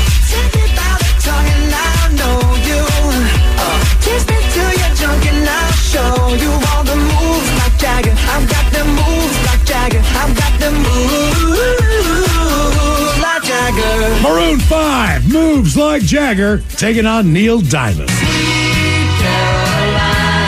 Bop, bop. Jeez. I was letting you take that one. My bad. So good. So good. So good. Vote now on Bad Choice Friday. If you follow us on Twitter at Men's Room Live, will it be Neil Diamond or Maroon 5 on a Bad Choice Friday? All right, do we have time for a few emails here from the men's room at KISW.com? Do one from our question about the best or worst way you made some cash, guys. Uh, best side hustle. I used to fly hot air balloons commercially. I worked for a few different balloon companies in the area. We made seventy-five to one hundred dollars per flight or per hour if tethering. And from Bob the transplant. guy. Tethering. Well, you're still holding on. You're not really going anywhere. I I would be okay with that. I would not be okay with going up. Really? No. It's too much crap. I'm going to do it once, I think. You're going to get up. Well, you know what? Your uh, your parents are in a great spot. I think they're in the balloon capital, hot air balloon. They capital are, the in world. fact, in the hot air balloon. The, the problem is this. You're right. The time you have to get up. I'm not built for that. It's 4.30, 4 o'clock. I mean, you're in that basket at 5. But I think if you were that, you'd get up for a once in a lifetime thing. Yeah, Yeah, yeah. and my parents are in the right place. We, uh, when they lived there before in New Mexico, probably 12, 15 years ago, we went down. My mom said, like, if you're going to visit, visit it this time because the big hot air balloon festival is an international thing. Mm-hmm. It's massive. I get there. She's telling me everything about it. I said, what time does this start? About 4.30 in the morning. So that's a shame I'm going to miss it. Okay, Ted, so here, here, inherently, this is the truth. It's like uh, Steve tells a story of a guy he met in uh, Mexico who did not know a lot about Seattle, but he had been to Seattle and he went to dinner at Canlis. Yeah, yeah, yeah. Oh, Which, all right, you know, yeah. how was that experience? How was the view? I don't know. I was there at 6 o'clock in December. I couldn't see The anything. sun was down. There is no. I never So, thought about that. There's a hot there's a, there's a hot air balloon festival in Morgantown, and we used to broadcast starting at six from it. But all the balloons went up before that. We were broadcasting in the dark when we started. Yeah. So even if you do go up in a hot air balloon, You can't that, see them. You can't see anything. All you see is the balloon above you, and you really can't see the illumination of it as well as everyone else can. Right. So it, it's almost better to take a late evening flight, depending on I the agree. wind, if you can do it. But yeah. I, I'm just yeah, I'm like I'm with you. I, don't- I hate getting up for stuff, but when, it's, yeah. when it's fun stuff, stuff you want to do, it's like, hey, wait, let's go. Yeah, but New Mexico makes the most sense because probably clear skies, starry Generally skies. speaking, You- yeah. You can see everything. Guys, I want to wish my son Dexter a very happy fourth birthday. He's been a bit of a booger butt some days, but I love the little guy. Love watching him grow to be just like his dorky, lovable dad. So, can I get an oh, look out, a cat fart, and Coach Ted giving him advice on starting preschool? Uh, thanks, guys. Appreciate it. That from mom and from dad. Uh oh, look out. Oh my gosh. All right, preschool. A lot of stuff you got to concentrate on. First of all, we got to be nice to the other kids, all right? Probably the first time out of the house, outside of a park. It's easy to make friends at a park. Now, this is preschool. You're going to see them every day. Number two, we got to talk about naps. Nobody respects a preschooler who doesn't take a proper nap. Plus, this won't make sense to you, but 30 years from now, you're going to you're to wish you could take a nap during the week. Gentlemen, I enjoy listening to the show every day on my way home. Thank you guys for what you do. We would like to uh, wish our daughter, uh, Nee, uh, God, Nee, Nee, Nee Kylie? Nee Kylie, yes. Nee Kylie, a very happy birthday. So, could you get a What the F is that, bro? Followed by a bong hit and ending with a Your penis is too small. Thank you again and look forward to many years of entertainment. Respectfully, that from Jason and from Jovi. Oh my god, what the f- is that, bro?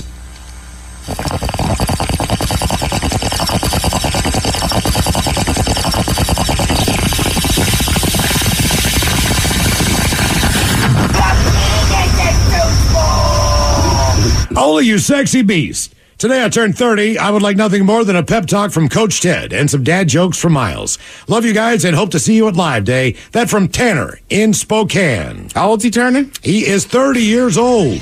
All right, first of all, Tanner, uh, if it's dark out, stay away from that 7 Eleven when you're driving into Spokane. That's one of the scariest places Coach has seen in a long time. All right, you turn 30. First of all, go out there and tear it up tonight. All right, turning 30 is a fun time. People are happy for you. They want to throw you parties, give you gifts, do all that stuff. Also, maybe get a little extra attention from the ladies as you're turning 30.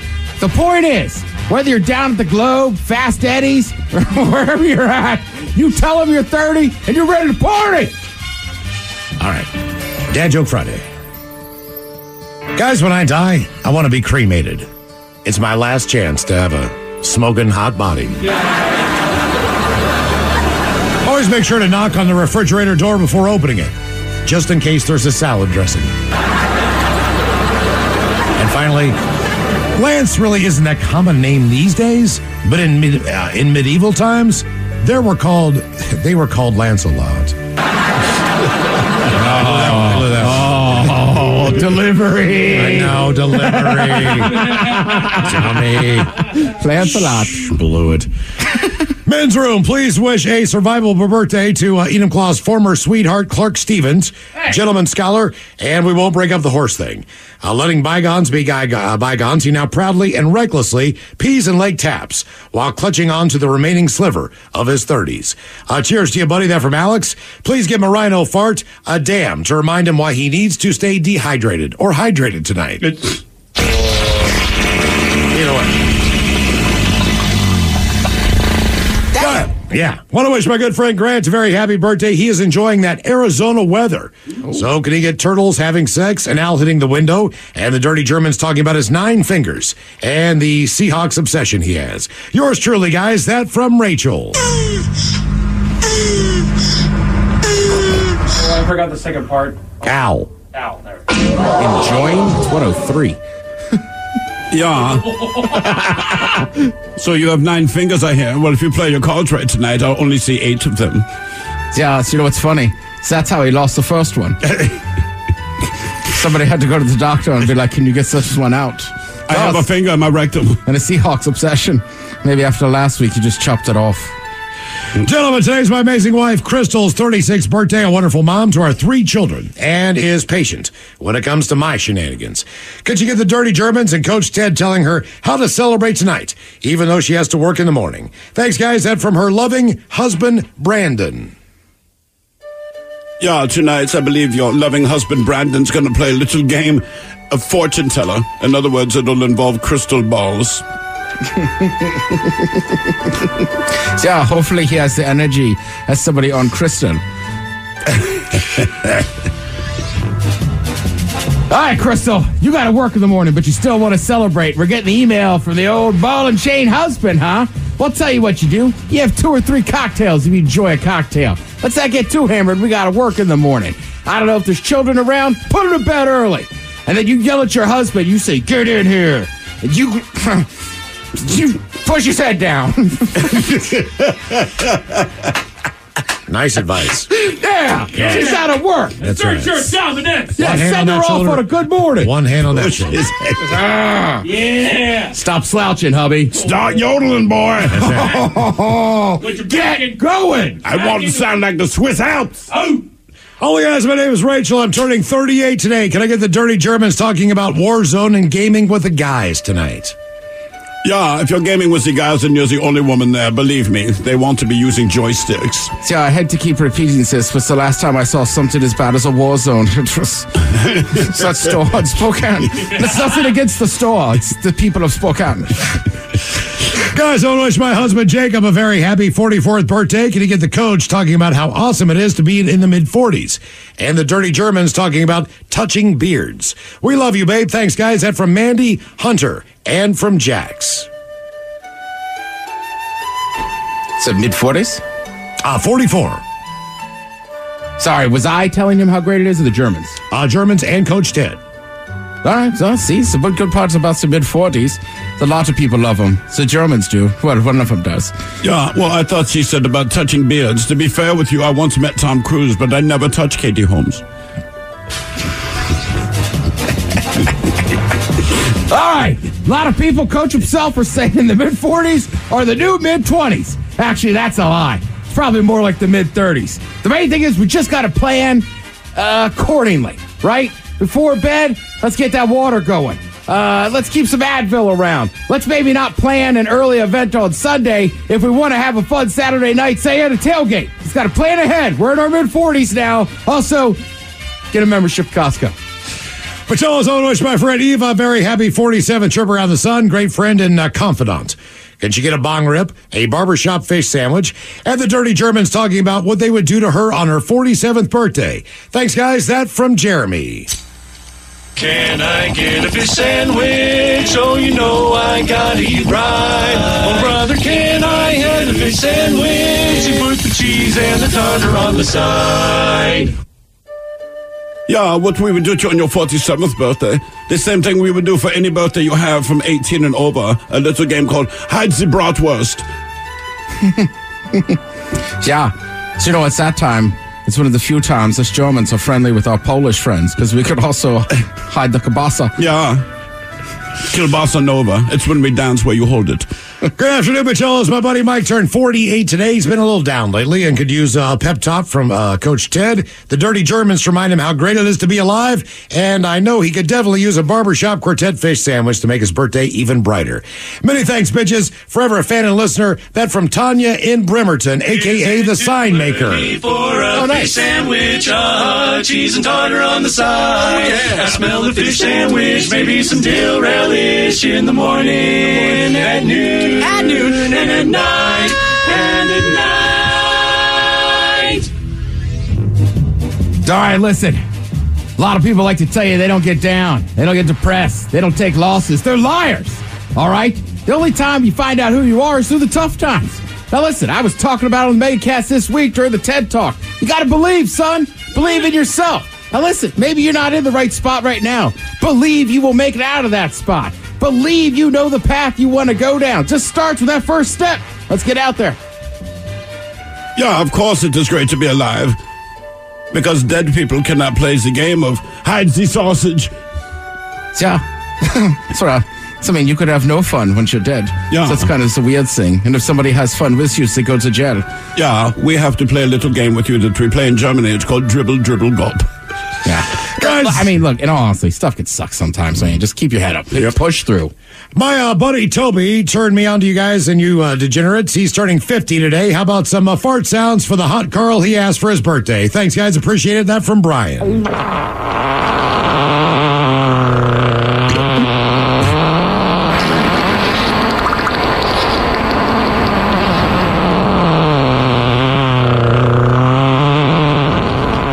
And finally, for the birthdays, Ola Machelos, I want to give a big 51st birthday shout out to my close friend, too, Hair. I know it's a crazy nickname with a lot of background uh, for another time. He's a great guy and a great father. Can you please give him a fish sandwich montage and you guys talking all over yourselves about how carpenters have the best wood? Thanks a ton. Keep up the great work. I listen daily, as do most of my friends. Love you guys. That from Adam. Can I get A a, fillet fish of sandwich? fish sandwich. So you know I got I'll have a fish sandwich. Oh, brother, can I have a fish sandwich? Put the cheese and the tartar on the side. I want a fish sandwich. Is it too early for a fish sandwich? Uh, cheese and tartar on the side. yeah. I smell the fish sandwich. Maybe some dinner relish in the morning. At noon. At noon and at night. buy you a fish sandwich. Carpenters. So you don't want a fish sandwich? Actually, I need one right now. Tell you what, man, Of course, we got uh, two or three things guys know how to handle thing I a need to do phone is show, and you have access to Well, where I- Let a poor control boy my man car see so the they called the shout sausage The other thing I need to Maybe that's just yours. a You know, like that. something Brandon. all right. I do think it'd be kind of funny to do. All right, guys, here you go. Happy, happy, happy birthday. Happy, happy, happy birthday. Happy, happy, happy birthday to you, to you, to you. Ya's a Dirty Germans brought to you by Men's Room Original Sausage. Available through Uli's world famous sausage, mensroomlive.com, and other fine retailers. Mmm, Schweinefleisch. Thank you, Mom. I think it's time we go back in time. The last time that we played Ted versus the FCC. So if we could, let's go back in time. Time, time, time. So Helen Hunt is the focus of Ted versus the FCC. And it goes something like this Helen Hunt is a cunning huntress. Helen Hunt. yeah. Oh, great. All right, all right, all right. Didn't take long. All right, now we have an issue. Because we all hit it. so now we got to wait for it to build back up. Shut up, dude. you got to bring that one tomorrow. That's uh, that's my that's my We didn't even have a win or loss last time in Ted It versus just- the that's FCC. funny. That's the first time I've heard it. It just sounds wild. Like that's how much of the dump we. It was so I easy leave to- you guys for one doggone see what week. happens? Yeah, yeah, That's yeah, what yeah. happens, No, Mike. you were in for one day. You were in for one. Don't sell yourself short there, Judge. Okay. Mike, don't And leave us. now, everyone's favorite daytime game show, where one person could lose $325,000 and their job, or Oh, win and walk away with everything. It's time for Ted Right, yeah, yeah. versus the FCC. Time once again for Ted versus the FCC. Man, oh man, we had played last night. Oh yeah, yeah, yeah, yeah, yeah. yeah. But uh, lo and behold, we came in here uh, today, Ted. There was a listener submitted Ted versus the FCC. Wait, we're not revisiting Helen Oh. Hunt? Uh, no, we are not. I threw that thing away. No. I threw it away. Come on, man. Threw it away. No, we got to revisit I Helen Hunt. Threw it away. It's gone. The cunning huntress. It is gone. It is gone. Cunning exactly. huntress, Ted. Thank you, Ted. All right. See, All It's- right. that's- I know it now makes you what? nervous. He would have double One. tapped that dump right now. I do. I do. It's gone. So we're going to go with uh, a Bryce submission for Ted versus the FCC. And it deals with our favorite shoes. Of course, that would be Crocs. and it goes something like this While on the clock wearing Crocs, chicks with Dixie cups fix decorative decks and docks. Don't trust a dock or deck not fixed by the chicks with Dixie cups and Crocs. The way we do Ted versus the FCC Oh, but Helen Hunt can't pass. is muster. one time through and then three times fast. Well, he messed it up, so he had to throw it away. Yeah, yeah. No, no, no. I just I, I read it through four more times. Danger. Danger. No happy hour revisit for that one, Ted. Danger. Yeah, right. Danger. All right.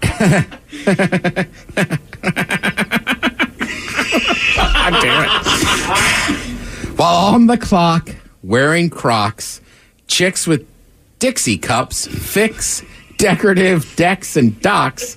Don't trust a dock or deck not fixed by a chick with Dixie cups and Crocs. Three times fast. Damn it! throw it out. See, I'm not throwing it out. No, I'm not throwing it out. It's not dangerous enough.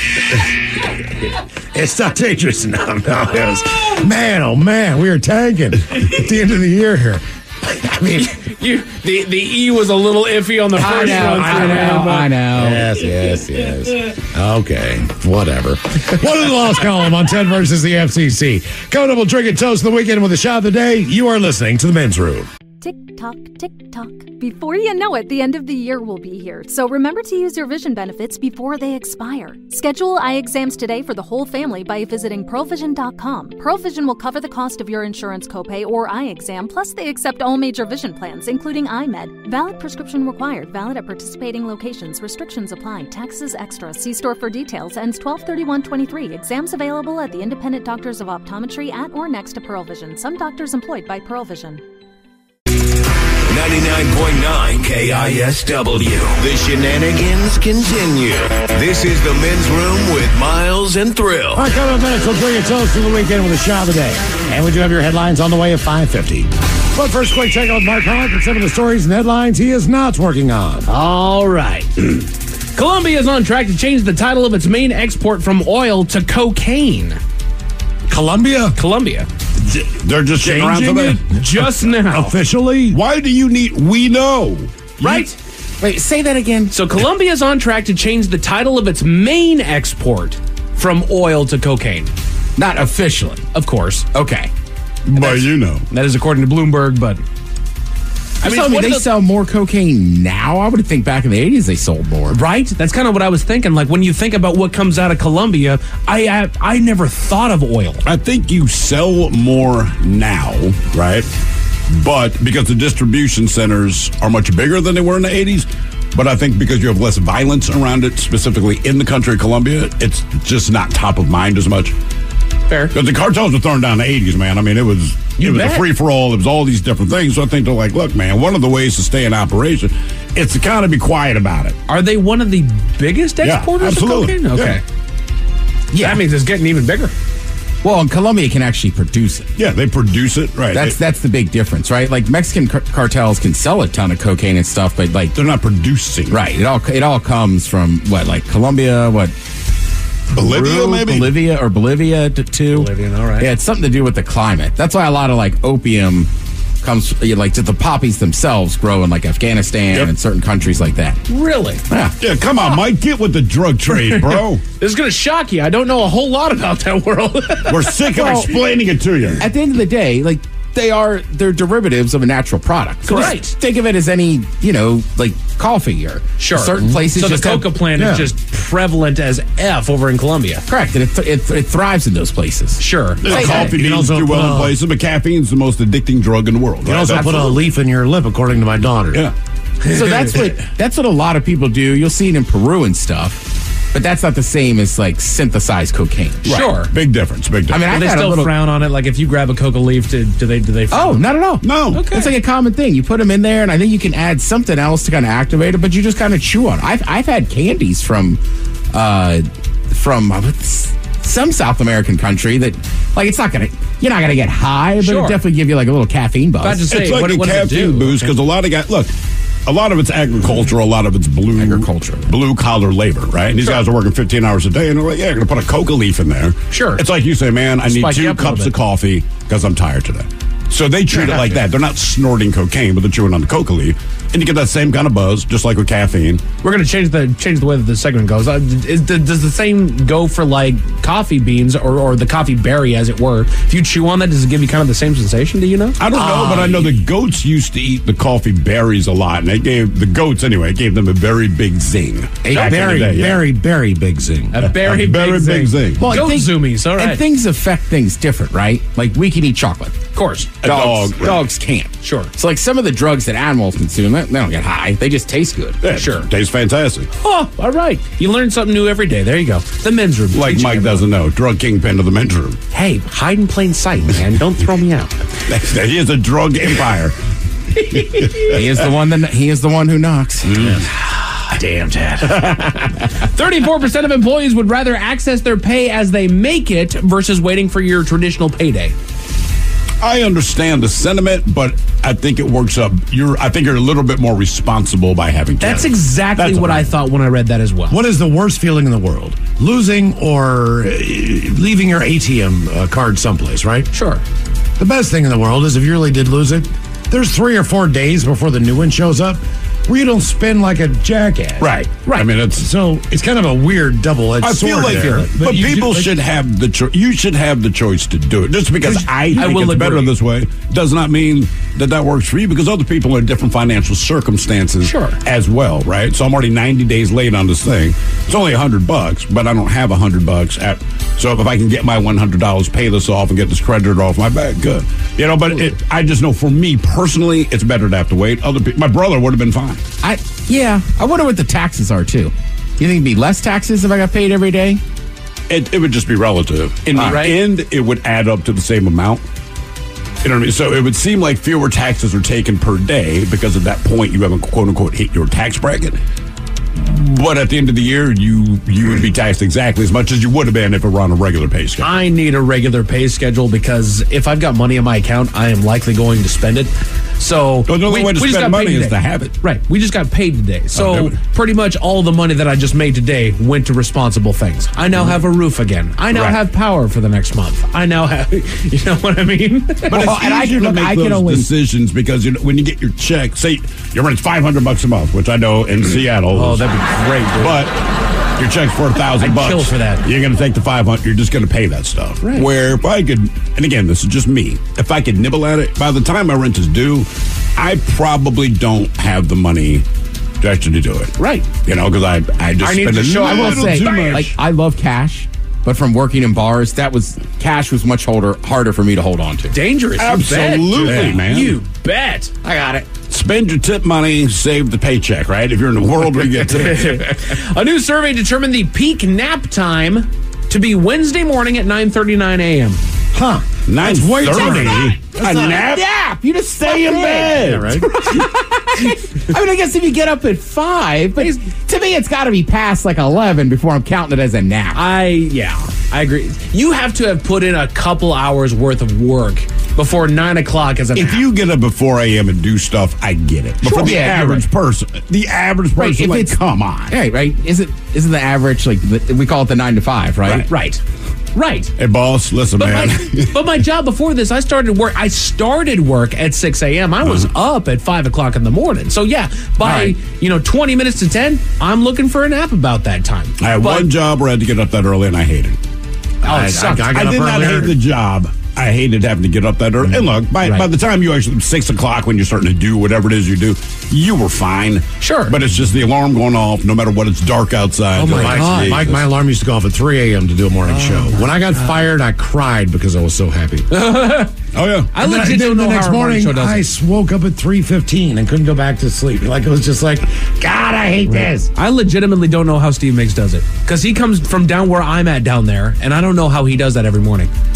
That well, I will say me, this: dude. his commute because his hours are so crazy is Smooth. better, right? Like if you if you're working a nine to five, getting up from Tacoma or Puyallup is tough. It's all Also, Oh, so yeah. like that's smoother, but like how he stays so energetic and does all the extra things he Cocaine. does. right, yeah. Also, he's been doing that for 25, 30 years. That's a- I mean, that's from, a from the end days on. So Miles, you alerted me to a very succinct fact that today is National Double Cheeseburger Day. No And he- kidding. Yeah. Wait, so- double cheeseburger? It was. Yeah. I had to look it up Wow. because I thought it was just Cheeseburger Day. It's National Double Cheeseburger Double Day. cheeseburger, But okay. regardless, I still did the research, so we're going to talk a little cheeseburgers today. The Men's Room Top 10. no. The Men's Room Top 10. the top 10 fast food cheeseburgers. As a kid, it was the McDonald's cheeseburger. As a teen, I upped my game to the White Castle slider, the Checkers cheeseburger, the Junior Whopper with cheese. Special shout out to the Carl's Jr. cheeseburger in Eureka, Illinois. Nowadays, the only cheeseburger I eat is highly processed from dandelions, crabgrass, chia seed, and flaxseed. Yeah. Positive Friday. You're a disgusting freak. You're a monster. And I want to know what happened to that Carl's Jr. in Eureka. And he's not putting cheese on it. He's not. I will say I've been I've been doing a lot of veggie cheeseburgers with the lady, and they're a substitute. They are a substitute. They are That what is- they that is- say they are. that It is is. correct. It is not the worst thing I've eaten all year. No, you can just use Uh, a big like- slice of tomatoes. The, like the fake protein, or like, or We- like we just do- like a Boca burger. Uh, black bean burgers, actually. is what- Right. So, to be honest with you, it tastes more like it needs like salsa as opposed to your your average toppings that you would put That's on a burger. That's the problem. I've had a black bean burger. and, Like, it's not bad. The problem is when you call it a burger substitute, your brain is thinking burger. Correct. And now you make this comparison. It and I go, this is crap. But if you said, dude, I made a black bean burger, I would say, this is fantastic. Mike, you ever had a salmon burger? Yes. Oh, those are awesome. Oh yeah. I mean, I don't know if she eats fish, but that's a. That's And a, I don't mind the black bean burger. It just kind of tastes like a almost like a Mexican style hamburger. Right. Which is fine, but we Well, I, next time, I add changed up the salsa. topping. Right. Yeah. And I Seriously, have. man, I would dress that bitch up I like put a- like Tabasco on it or something like Ooh. that. Oh yeah. Yeah. Man, Trader Joe's has this green dragon sauce. Holy crap, What is it? dude! Like it's I, I think gonorrhea. It's, like a lime zest. It's like a verde sauce, is really what it is. Okay. but doggone it, there's heavy some- on the citrus, kind of. Not so much. It's actually very well balanced. Okay. I love Trader Joe's. I like stuff. Trader Joe's. I know there was this Period. thing like people are going, man, Right. there was rocks Yeah. in there, blah blah blah. I'm like, they're the most delicious rocks care. you'll eat. Just Right. go to Trader Joe's and buy something. Yes, That's Trader all. Joe's. Talk and, to and us, you walk man. out with three bags for under 100 bucks and go, why does this not happen at any other Man. grocery store that I go to? My don't wife know. and I, we go shopping there every week, and I don't care how much or how little we buy. It's thirty-five bucks every time It's we're out crazy. the door, and, And it's, it's fantastic. Two big ass bags. Our freezer is stocked full of deliciousness, man. I got some uh, uh, General Tso's chicken waiting for me. Oh my god! Uh, real quick, your favorite fast food cheeseburgers. I'm just gonna poll the room here. What is if you guys are like you had your choice? It's five minutes down the road. You get to go to a fast food establishment and get a fast food. Fast food or just in general? Bro, Fast food is what I'm saying. Burger, uh, Burger King. Just a Burger King, like your your, your standard Whopper. Yeah, man. Okay, Miles, what do you think about Uh, quick pick. Quick Pick? I never heard of that. Or pick quick, whatever it is. It's a local fast food place. Like Gotcha. a Dick's. They got like three or four. He's right. He's asking like fast food everywhere. All right. I'm, I'm with. Th- I usually go Jack in the Box, but lately I'm a Whopper guy. Yeah. Going with the Whopper. I, I've always preferred Burger King myself. I just, for whatever reason, I just feel like it's better. It's the flame broiled. The problem Yes. is, and I know they have onion rings. Onion rings are good, but McDonald's, fr- like, I want a, a, a burger from Burger King, but I want the fries from McDonald's. Mm-hmm. Good call. Good call. All right, So I we're gonna probably eat more McDonald's burgers. 100%. Without a doubt. 100%. So I am going to run through this really quick here. The- These are the top 10 fast food cheeseburgers in the USA. Number 10, I kind of already disagree, is the cheese slider from White Castle. You know what Oh. you're getting. It's it's a it's a pizza roll. Correct. If you know, It's fine. If you're going to White Castle, you know what you're getting. It is probably two in the morning. You're probably high, drunk, or the or both, and, And you're getting a six pack. I think Harold and Kumar made that more popular than it's worth. Sure. As far as what you're getting, they're it's fine. They're not bad, but they're not great. And I encourage everyone to try it. Just understand, Sure. it's not going to be the best thing that you've ever had. Uh, but the legacy wise, the idea of having slider size sandwiches, they kind of invented. I like so I just give them props for that. Yeah, and if you're in the South, go to Krystals. It's basically Yep, the same, same thing. thing. Okay. Uh, the double Del cheeseburger at Del Taco. Side note: Del Taco makes cheeseburgers. I had know no idea. No idea. Never been to a Del Taco. I think our closest one is like in. Covington. Thank you. If I had to guess. Just guess it. Spitball in there. or, or Federal Way. It's, it's one of those ones. The Big Mac at McDonald's. yeah, the Big Mac is classic. Yeah, I It mean, is a on. classic, man. It is a classic. I did see other lists that put the uh, the the quarter pounder with cheese up there, but this is the only McDonald's entry on this list is the Big All Mac. right. Yeah, I mean, if I if you want to clap, yeah, I'd go there for McDonald's. Uh, steak and Shake, their double cheese steak burger, double and cheese. Still steak haven't had steak and shake. I've never been there. I believe it true uh, to be true, but I just haven't been there. Uh, Jack and Bo- Jack in the Box's sourdough Jack, which is legit. That I like yeah. the sourdough Jack. I was going to say, legit. someone told me it's awesome. It was you, Mike. Actually, I'm thinking, I'm like, who just? Oh, it was Mike. Yeah. To be fair, this is one of those where I haven't had it in a while, but I will swear by the sourdough Jack. Yeah. It is a fine burger. I, yeah, I usually go ultimate bacon there. Same. Or the jumbo, just a straight jumbo jack, man. Yeah. I love it. Or the big cheeseburger with like pickle strips. That was my- Basically, you like Jack in the Box. That was my brother-in-law's Or- hack. or- that was my brother-in-law's hack because we both worked there. That's actually where my my sister and and my brother-in-law met. Was at the Jack in the Box in Enumclaw, and his hack is that he would go there and he would order the big cheeseburgers, but they had these long uh, pickle strips. It wasn't your All right. average like little weird little disc pickle. Yeah. It was actually the big strips. So he'd get that and he'd get the pickle strips on there, and it was fantastic. Good stuff, man. Other than the pickles, yeah. Top 10 fast food cheeseburgers in the USA. Pickles are fine. Number five, the bacon cheeseburger from Five Guys. Yeah. Sure. I didn't yeah, realize yeah. the five guys, because in my mind, they're not quite fast food. Fast I'm with you. I know, I would call fast fast casual. casual, but Five Guys is hard to beat. They are, dude. Not to mention, you get a bag of fries. Their milkshakes are dope. They never skimp on the fries. The oh. burgers are really good. The problem, man, is how much it costs. Sure. You know, just But you get the good quality as well. And that's the thing. But it's like I was saying about the black bean burger. It's not that Five Guys is expensive, but if you go in there with a fast food mentality, you've spent a lot more than you want to spend. If you just go in and say, no, no, it's a restaurant. I'm just It's almost between It's that okay. fast casual thing. Right.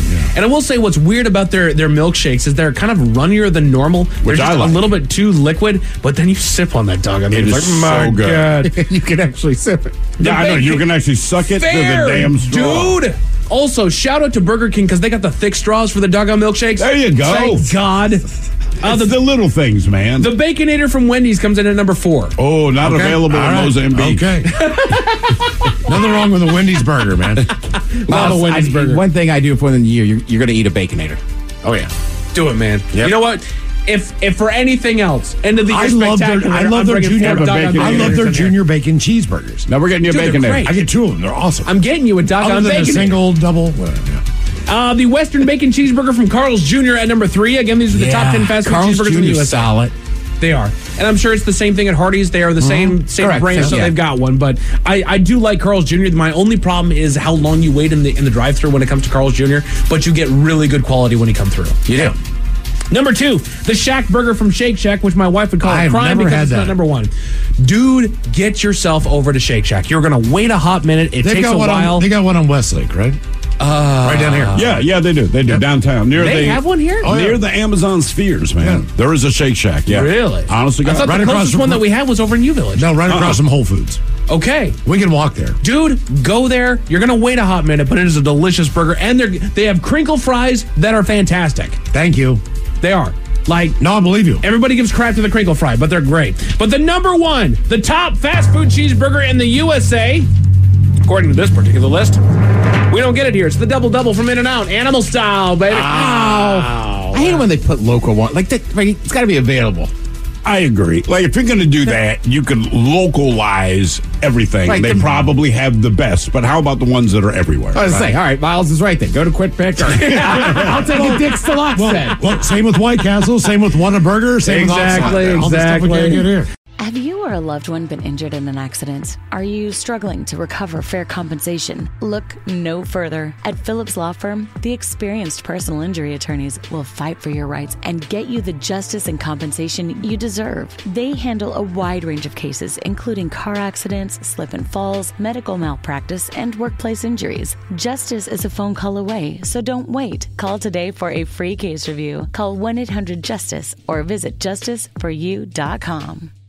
It's after bedtime, the kids are asleep, and the moms are out to play. We're Deena and Kristin, the duo behind the Instagram account Big Little Feelings. I'm Deena, I'm a child therapist and mom of two who nerds out on all things neurobiology and psychology. And Kristin is a parent coach who wrangles three kids on a daily basis, here to give it to us like it is. We weren't meant to do this parenting thing alone. Consider After Bedtime your village. Follow After Bedtime with Big Little Feelings on the Audacy app or wherever you get your podcasts. Hey, it's Mike Hawk. Want more men's room content? Follow the men's room page of the Audacy app and check out my live stream, A Moment with Mike Hawk, and Nothing in Particular with Steve the Thrill Hill. Going live Thursdays and Fridays at 1 exclusively on the men's room page of the Audacy app.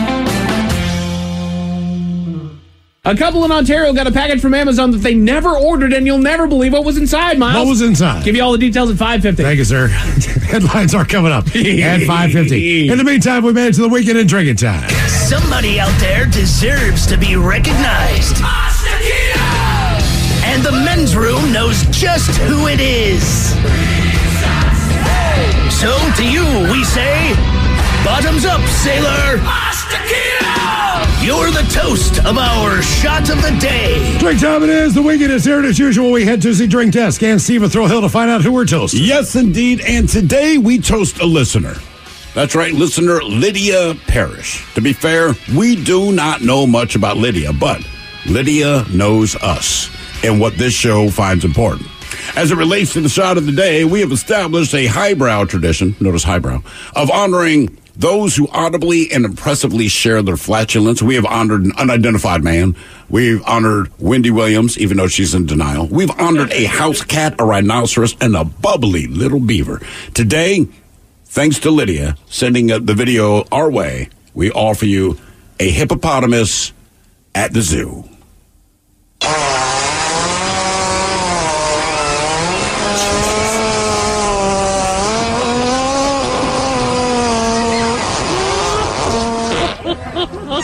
I'll tell you the beauty of this.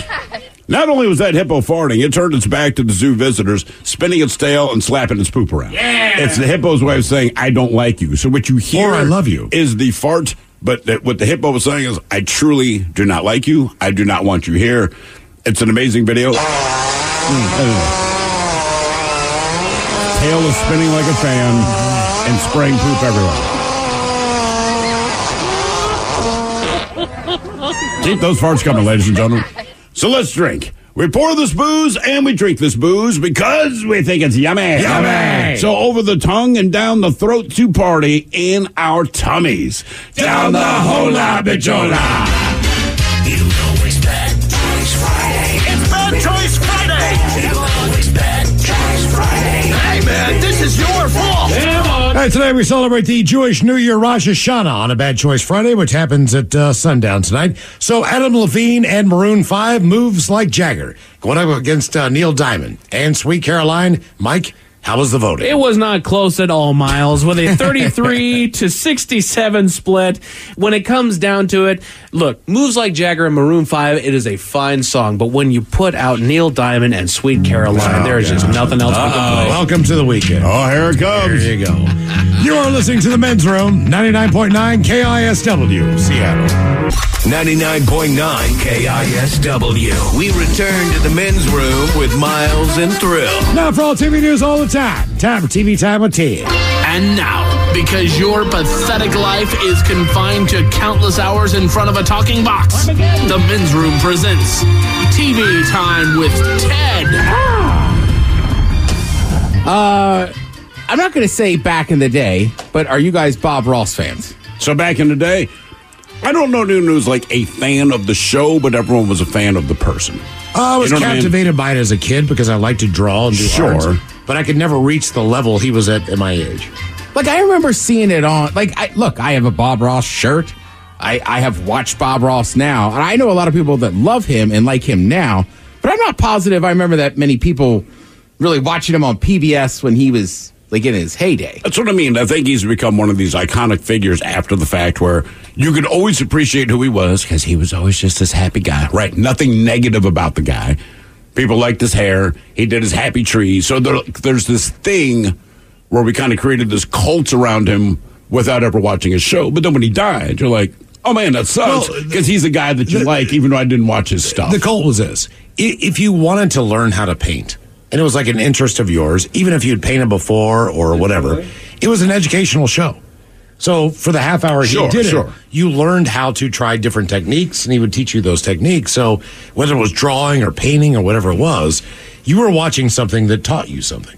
But did you watch it? I did watch it just because I could not believe That he could just do this every time. The transformation of what he started with, and then what you got at the end. Positivity. And And there was he got also a period, like I remember, like we used to just make fun of him all the time. Yeah, there was that too. And then I guess it had to be like 10 or 15 years ago. I had some friends that like either had Bob Ross DVDs or something. And they would, and sometimes late at night, if it was getting a little quiet at the party, they would just put it on. Or like the next day, and I was just like, huh, all right. Right. But it was, you know what I mean? It's kind of cool and it's funny. And Miles is right. You can actually learn how to paint. Like he Yes, explains everything very well. Uh, of course, uh, his show was The Joy of Painting. Uh, he completed the very uh, he, the, the Joy of Painting. So in the first episode in '83, he had a painting called "A Walk in the Woods." Okay, uh, it's going on sale for nine point eight five million. Wow, nine million dollars. Because it's Bob Yeah, Ross. it's He's almost one of the few art. He's one of the few artists that's not like historical. You know what I mean? That everyone knows. It is. Uh, it's owned, but it's I don't. They're not going to get that. It's owned by a gallery in Minneapolis called Modern Artifact. And look, they even said like they don't expect anybody to buy it at that price, and they're okay with it because they want to take it on tour. I think they're going to be surprised. I, they said if somebody were to make you know an offer, they consider it, but I think they more just want to generate I- the interest. generate the interest and take it on tour and have you know have people see you know see what it's about. Honestly, God, uh, what I think someone like Paul Allen will buy it. Then what they'll do is, but please take it on tour. Right, do everything you're gonna. Maybe His not sister? Paul Allen, his sister, yes, because Paul Allen was dead. But the whole thing is like someone's gonna buy it, but I bet you they'll say, "No, we're gonna loan it out to you. Take it on tour, and- make it go around because it'll be worth more." Andy Warhol basically lithographed a Campbell soup can, and that probably will go for millions. Yeah, I mean, but that's it. I mean, I wouldn't. I don't know that I would put it on sale because there is. You're right. There's somebody that would do it just to say they have it. But I'm with you. Like if if it's a piece of art that you want to be that other people can enjoy and stuff. I mean, that's the beauty of galleries, right? Right. Is that other people could see the art. I, I get both. I get both sides, right? I'm not against like owning art. I have a couple pieces of art in my you know uh, apartment and domicile. Domicile. I was going to say abode. for Domicile. some reason. Domicile. Abode was the only thing I had in my head. Penthouse. Penthouse. Uh, so I get having pieces in your home, but I also fathom that like some pieces are so awesome, everybody should be able to see them. I agree. Yeah, but, but a lot of people do that. So a lot of these traveling things that you see, it, it could be the Metropolitan Museum of Art, and you realize they own twenty percent of what And they're showing. private collections own 80 the rest. But but like any private collector, like I'm not going to just put this up on my wall, right? So guys, keep it because I know you're going to take care of it. I just want to know that I own it, but would I don't be- need it in my home. It would really be cool to see a like a skeleton of a T Rex. Guy's got that in his house in Seattle. Right. No one sees it. He's Oh. got a uh, T Rex in his home. Mm-hmm. You don't see it. But Yeah. I would like to. so I agree. Like, I- like yeah. that, that that should be something. How do gal- how do galleries work? If I had a crazy piece of art and everybody and I kept it at a gallery, like if I was having like a having like a party, can I just call the gallery and be like, uh, "Hey, Mike and I are coming by at six. We need to pick up the art for the weekend." I think it depends Uh, on the don't- level I of the think art. what they would say is, look, based on your agreement, which I'm assuming would be signed in advance, the gallery will cater the party you want to have. Sure. Oh yeah. You know what I mean? So, Yeah. like, man, we know you want to show it off at your house, but like, we're taking care of this. We're doing this. We know it is yours. So, if you demanded it, I'm sure they would have to give it back to you for the weekend. But I think they would say, keep it for two days because you got friends coming in. Hey, man, how about this? We'll throw Sure. because one, it helps our business because they must see other. But we, Mr. Smith, We will take care of this for you before you play beer So- pong and spill Miller Lite on the corner of this Picasso. Le- Lego, Lego, Lego, Legoland could come to We know you. Like there could be a huge, on the wall. a huge Lego convention in Seattle. Yeah. where they have like the Death Star and all these crazy things, Titanic and all this stuff done from Legos. Well, in Seattle, there's a guy that's got a. There's a couple guys that have Ray Allen uh, Legos or whatever the hell they are, or the statues of the. Oh, yeah, yeah, Ray- yeah. But I was going to say, yeah. There's So, also like- two guys in Seattle that specifically make ridiculous uh, Lego stuff. I saw them on Pawn Stars. They, I forget. they- It's awesome. It sounds so a- stupid, a but it's really cool. Cloud City. Okay. Clouds, don't act like you don't know. And I was you like, closet. Star you Wars watch these- nerd. you've watched. so this. sick of this ruse. Don't act like you don't know Lando. You make us call you Lando Smith. I know. All right. R2D10. Uh, the other thing is Bob Ross paintings are pretty hard to come by.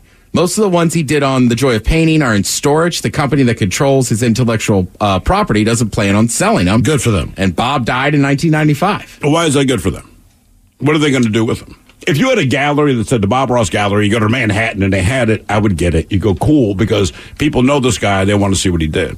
If they're just in storage and no one sees them, what is the point?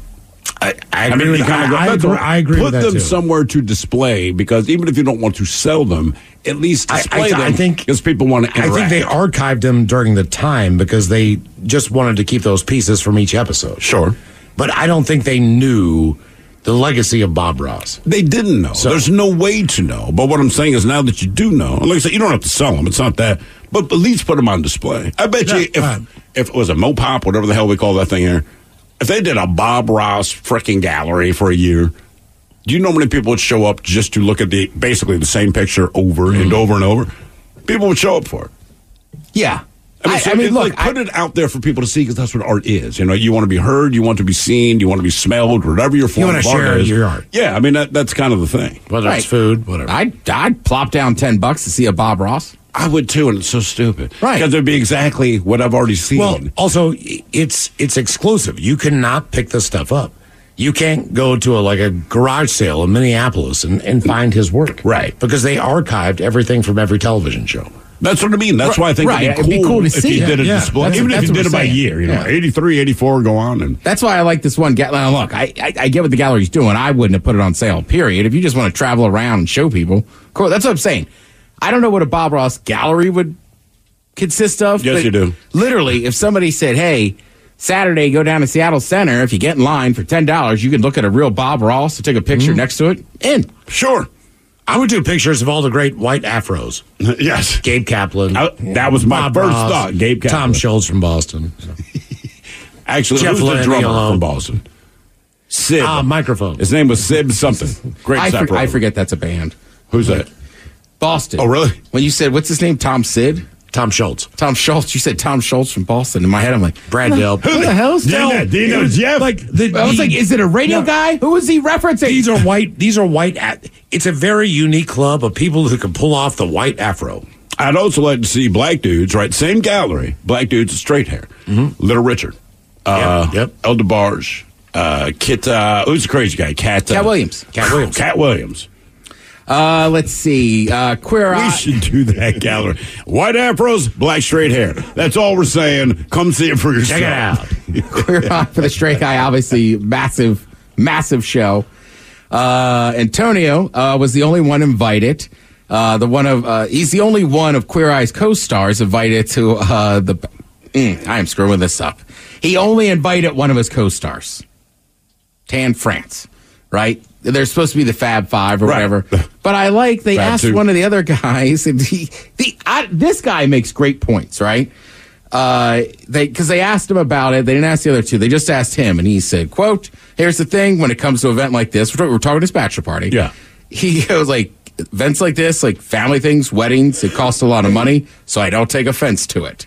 Yep, yep, yep, yep. That's strong. Right. He even said, "Look, if they didn't invite me to the wedding, I, you know, like I, I expect to be invited to the wedding, but if not, I get it. Sure. Again, these are private events that cost an s ton of money. Uh, and then he said, "Look, I wouldn't invite that guy to my bachelor party." And, he, and you're probably wondering why. And he goes, again, quote: First of all, I drink. I'm going to do a shroom. I'm having a good time and he's not. He's sober. So I'm not going to invite you, girl. That's how much guessing. That's why he said it. Yeah. So you will be sitting in the corner sober. So again, no, Girl, no. no shade. No. No, I completely understand that. I'm not going to invite some. One, it's deeply personal. Two, it's not a scene they want to be in. Mm-hmm. Right? I mean, come on. And trying to avoid to do the best for them. And a lot of times you can send the invite knowing they're going to say no. And even when you get the invite, they know I'm going to say no, but they're letting you know, hey, I, care about you, bro, but kind of. I, not, a, not a wedding, but I had a I got a invited to an anniversary party to some people I know through like family friends. Yeah. and I love these people. Now, granted, they know I'm not coming, but you're exactly right. That's all. It was Right. very. I was like, holy cow! I can't even believe they invited me. And you understand what that is? Even well, my wife and I got married, man. We sent out a couple of extra invitations to people we knew were not going to post for whatever reason, but it's like we're letting them know. You're more than welcome. We absolutely enjoy you. We Mm-hmm. love you, but we do understand what this is going to be is probably not a situation you want to be in.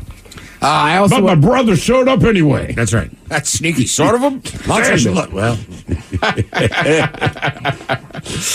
Uh, this time of year, you know me, I'm always going to talk about a lot of sports. Uh, your Huskies are playing uh, on Peacock tomorrow, 2 p.m.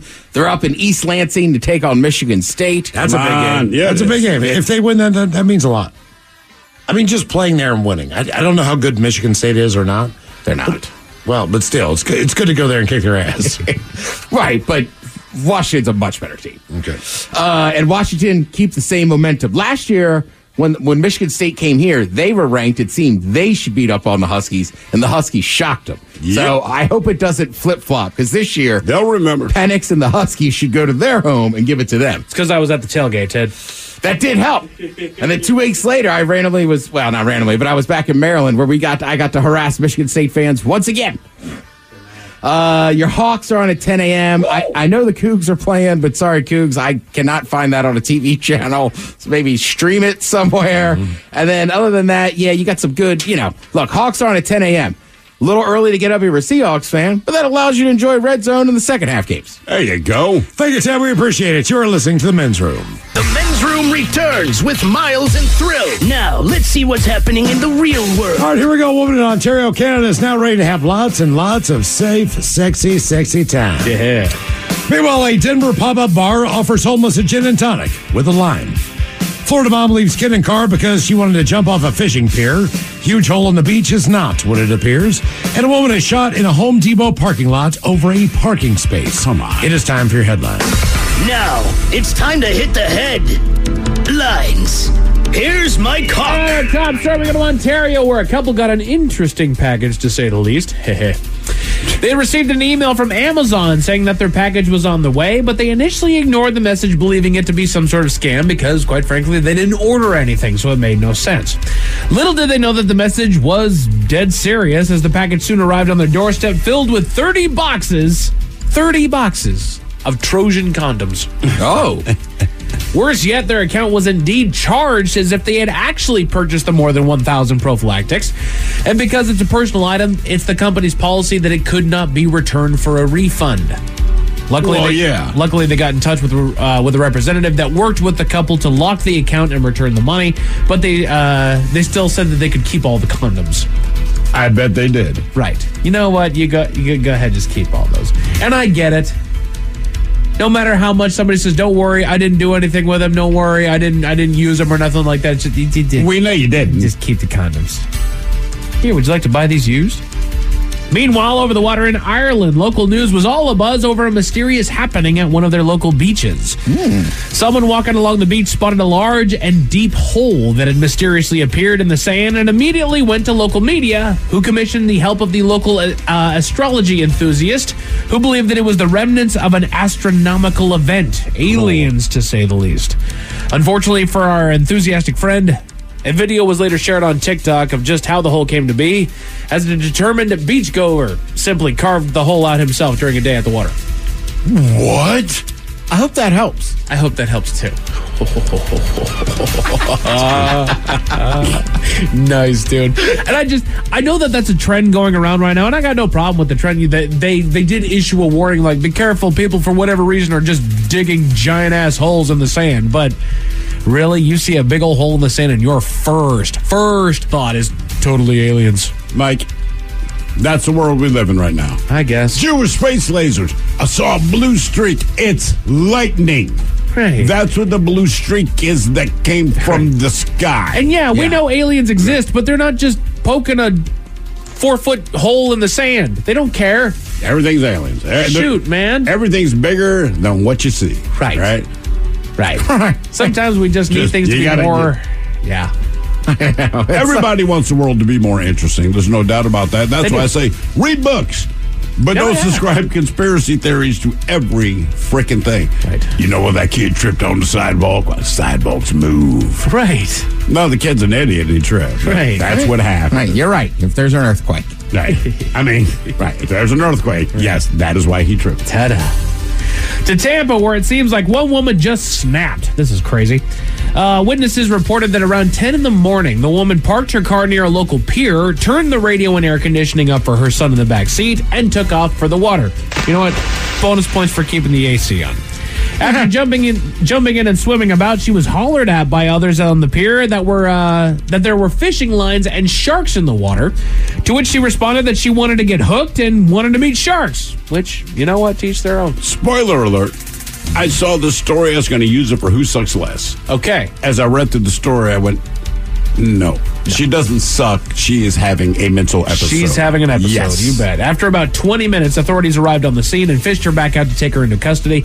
Uh, her son was recovered, seeming not to have any idea what was going on because he's in diapers in the back seat and mom just stepped out for 20 minutes.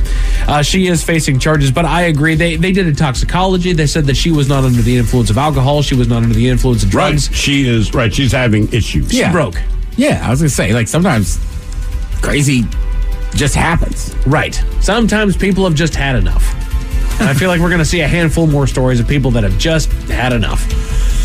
Yeah, I mean, look, I love the fall, but you know, it, it, once you get the holidays, That is stressful and yes, you know, break people. You bet, dude. Yeah, man. You Merry bet. goddamn Christmas.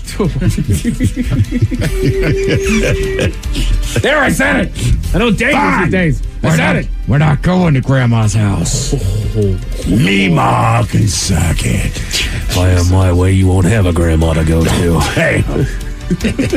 I don't like either of them. Me ma, grandmommy, whatever you want to call them. Oh, God. Don't worry, kids. We're just joking. Right. No worries. Everything's great. We're doing fine. Yay. Denver authorities are scratching their heads over an interesting advancement at a local homeless encampment. Passers-by have always been treated to the sight of their homeless community, but things took a turn when someone noticed an open-air bar that had been erected in the camp, complete with chairs, loungers, umbrellas for shade, and a display of liquor bottles. What do you take for payment? That's kind of what I was wondering. Same as the drug tents. Cash. Drugs, I get. Booze, like, mm, I don't know. I mean, I know that you're taking a loss on that booze. We but- we have drug tents. Sure. Where people burn the highway down. I would like an open bar. I will take that outdoor seating. I'm willing to give you my money. I will pull up and, and have a beer with you. You think that when that thing's burning down, they just want to crack a cooler you know, and just when- stare at it? When it? you want to do a five uh, five bucket gallon bomb, uh, no. Look, full disclosure, one time I saw a smoke coming up from the beach down when I lived in Belltown by the sculpture garden. So I peeked over there, and it was a it was a guy, and he was just sitting there drinking Bud 16 ounces. He was like, "You want one?" I was like, "Yeah, Hell hell, yeah. sure."